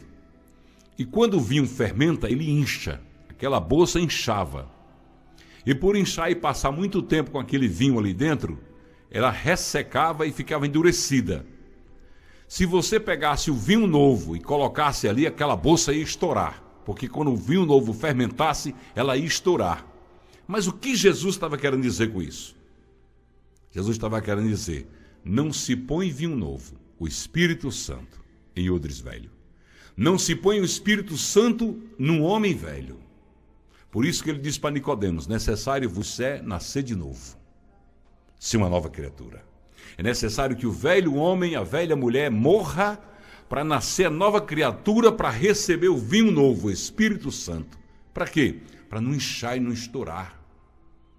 Aí você vai lá para o capítulo 12 de 2 Coríntios, e você vê o apóstolo Paulo dizendo assim: para que eu não me soberbecesse pelas revelações a mim feitas, foi-me permitido um espinho na carne, um mensageiro de Satanás, a me, a me esbufetear, e a Deus clamei três vezes para que o tirasse de mim, e o Senhor Jesus me disse: Paulo, Paulo, a minha graça te basta, porque o meu poder se aperfeiçoa na fraqueza. Quer dizer, Deus permitiu um espinho na carne de Paulo, porque nesse mesmo capítulo, capítulo 12 de 2 Coríntios, Paulo começa dizendo que foi arrebatado ao terceiro céu, não o céu atmosférico, nem o céu planetário, mas o céu, morada do Senhor nosso Deus, o terceiro céu. E ele ficou muito orgulhoso e por isso Deus permitiu o espinho na carne. Quando Jesus disse: Não se deita vinho novo em odre velho, ele está querendo dizer: não posso colocar o Espírito Santo, consolador, cheio de revelações, cheio de riqueza, cheio de unção, num homem velho, cheio de pecados. É preciso que ele morra e ressuscite comigo para ser uma nova criatura e receber o Espírito Santo. E não ser soberbo por isso. E não querer ser melhor do que ninguém por isso. Mas ser alguém que apanhe de um lado da face e dê o outro, que ore por aqueles que vos amaldiçoa. É isso que Jesus quis dizer. Por aí, Amém. por aí vai. Ô, Glória! O assunto da Bíblia. Quiser continuar, viu, pastor? A gente fica. E sem falar na, na, na, Agora, vocês, vão, vocês vão entender que existem vários, várias correntes teológicas. Existe, por exemplo, uma corrente teológica que acredita que o arrebatamento, que nós, nós, eu creio nisso, o arrebatamento vai ser antes da grande tribulação, dos sete anos da grande tribulação. Outros acreditam que o arrebatamento vai ser três anos e meio da tribulação, no meio da grande tribulação. E outros acreditam que os crentes vão passar pelos sete anos de tribulação. Eu não creio, eu creio que será, eu sou pré-tribulacionista. Eu creio que Jesus vai arrebatar a sua igreja porque sofrer, queridos, a gente já sofre nesse mundo, meu Deus. Então Deus, a palavra não diz isso. A palavra diz que o povo de Deus será arrebatado para não sofrer na grande tribulação. Aí você vai entender tudo isso, as correntes teológicas, aí você vai Bora começar logo, especialmente pastor, essa escola. entender, entender a gente quer a aprender palavra mais. de Deus. Ô, Glória, né, minha gente? Maria Lúcia de Paracatu, Minas Gerais, Adriana de vamos- Alagoinhas, vamos- Bahia. Vamos, Vamos embora. deixar isso aqui para amanhã. É. Ô povo de Deus, amanhã a gente vai falar sobre essa polêmica da exposição que aconteceu no Rio Grande do Sul, a exposição do Santander, que requer uma atenção melhor, né, maior, né, pra gente poder falar com mais calma e para não comprometer o horário do pastor, no horário do pocinho agora, que todos estão convidados para estar conosco. É. Amém? Vamos orar, né, pastor? Vamos orar e a gente vai estar daqui a pouquinho no Pocinho de Jacó, transmitindo pelo Facebook. Facebook do pastor Chico Chagas, o evangelista Chico Chagas, e pelas páginas, páginas Rádio Pão da Vida e Assembleia de Deus Pão da Vida. Bom, vamos. Vamos orar. Você ora, eu falei demais, você ora e eu só confirmo aqui. Você fez o quê, pastor? Glória, eu falei muito hoje. Eu não acredito que eu tô ouvindo isso. Missionária, você, missionária, você sabia? Vocês estão ouvindo, né, gente? Ele sabia- está reconhecendo. Hoje ele eu falou disse, demais. Eu disse, Ah. no, eu, disse, eu disse no começo do programa, on- de ontem para hoje, Hum. Eu não dormi. Eu acordei 6 horas da manhã de ontem e Uhum. estou acordado até agora. Nem sequer, nem sequer cochilei. E não estou cansado coisíssima nenhuma. Porque eu fiquei na presença de Deus a noite inteira. Foi lindo, foi maravilhoso É bom demais. a intimidade com Deus, as mensagens, que gravei 15 mensagens, sabe? Já gravei algumas coisas da aula, e é bom demais. Eu- e, se, e se Deus permitir, eu vou continuar assim por vários dias, porque eu preciso aprontar essas aulas, porque eu estou sonhando com as pessoas dizendo como eu estou aprendendo com essa escola teológica. Em nome de Jesus. Imagine Pegado, vou entrar em contato com você, minha linda. Luciana Souza, Pai do Senhor Jesus, Josileide Oliveira, todo o povo de Deus, Leni Soares, Deus abençoe, Josileide Oliveira. Vamos orar, querido Deus, amado Pai, quão maravilhoso Senhor. é, Senhor, nos deleitarmos, Senhor, na tua presença, conhecemos a tua santa palavra. Deus nos ensina, nos ajuda e nos orienta, Pai. Pois precisamos, Jesus, nos conhecer mais de ti. Nos ensina, Jesus, nos aproximarmos mais do Senhor. Coloca em nosso coração, Pai, a sede. Sim, a sede, Jesus, de conhecer a tua verdade. Sim, Senhor. Pai amado, mentes, derrama sobre o pastor Chico Chagas, sobre Sim, todo o Jesus. povo escolhido pelo Senhor que estarão envolvidos na escola bíblica. Senhor, a orientação do teu Espírito Santo, para que nós venhamos a fazer a tua vontade muitas vidas, Pai. Venham conhecer a tua palavra, saber mais do Senhor e ter um lindo encontro com o Senhor através dos teus ensinamentos. Pai Santo, nós só precisamos, Pai, de Ti, da Tua presença. Sim, e eu estou grata hoje, Jesus, por todo o Teu agir na vida do Teu povo. Por entender, Jesus, que o Teu povo tem buscado se aproximar mais do Senhor. Por ver, Senhor, quantas vidas querendo conhecer a Tua palavra. Pedindo para o Senhor ensinar, Pai. Nos dá as estratégias, Jesus querido. Fala com o Teu povo todos os dias, Pai e que nós venhamos tão somente nos firmarmos no Senhor Jesus. Nos firmarmos, Pai, na tua gloriosa presença na rocha que é o Senhor. Pai, abençoa cada vida que está ouvindo a Rádio Pão da Vida. Sim, E Jesus. que eles possam receber todos os dias, através dessa rádio que nasceu do coração Sim, do Pai, Senhor, abençoa, a tua presença, a tua palavra, Sim, Senhor. Jesus. E saírem sempre, Pai, deixando esse programa cheios do teu Espírito Santo, Sim, Pai. papai, Obrigado por tudo, Jesus. porque tu és lindo, Senhor. Obrigada, meu Senhor. Amém. Amém. Pense sempre. E coloque em seu coração: posso todas as coisas naquele que me fortalece. Eita glória. Oita, Glória! Irmã Jane, Jesus é lindo. A glória. Levante a tua mão. Receba a bênção apostólica, que é a graça de Deus, nosso Pai. O imenso amor do nosso Senhor e Salvador Jesus Cristo. E as consolações do Espírito Santo seja com o povo de Deus agora e sempre. Amém. Amém. Daqui a pouquinho vamos estar no Pocinho de Jacó, ali na igreja. Ontem a igreja estava linda, lotada. E hoje de novo, se Deus quiser, vamos fazer um culto lindo ali para Jesus, tá bom? Adore conosco acompanhando pelo Facebook. E se você está em Mossoró e quer vir para a nossa igreja para assistir ao vivo o Pocinho de Jacó, glorificar a Deus junto conosco, a nossa igreja nós temos duas igrejas em Mossoró, mas essa igreja onde tem o Pocinho de Jacó é aqui na rua Felipe Camarão, frente à agência dos Correios do bairro 12 anos, pertinho da pizzaria Novo Sabor. Não tem a igreja São João, a igreja católica? Fica ali pertinho, bem pertinho, é só você seguir em frente, como fosse subindo para o aeroporto, pode ir olhando do lado esquerdo assim que você vê uma placa bem grande, Assembleia de Deus Pão da Vida. É uma placa enorme. Tá, queridos? Que Jesus abençoe todos vocês de uma forma poderosa.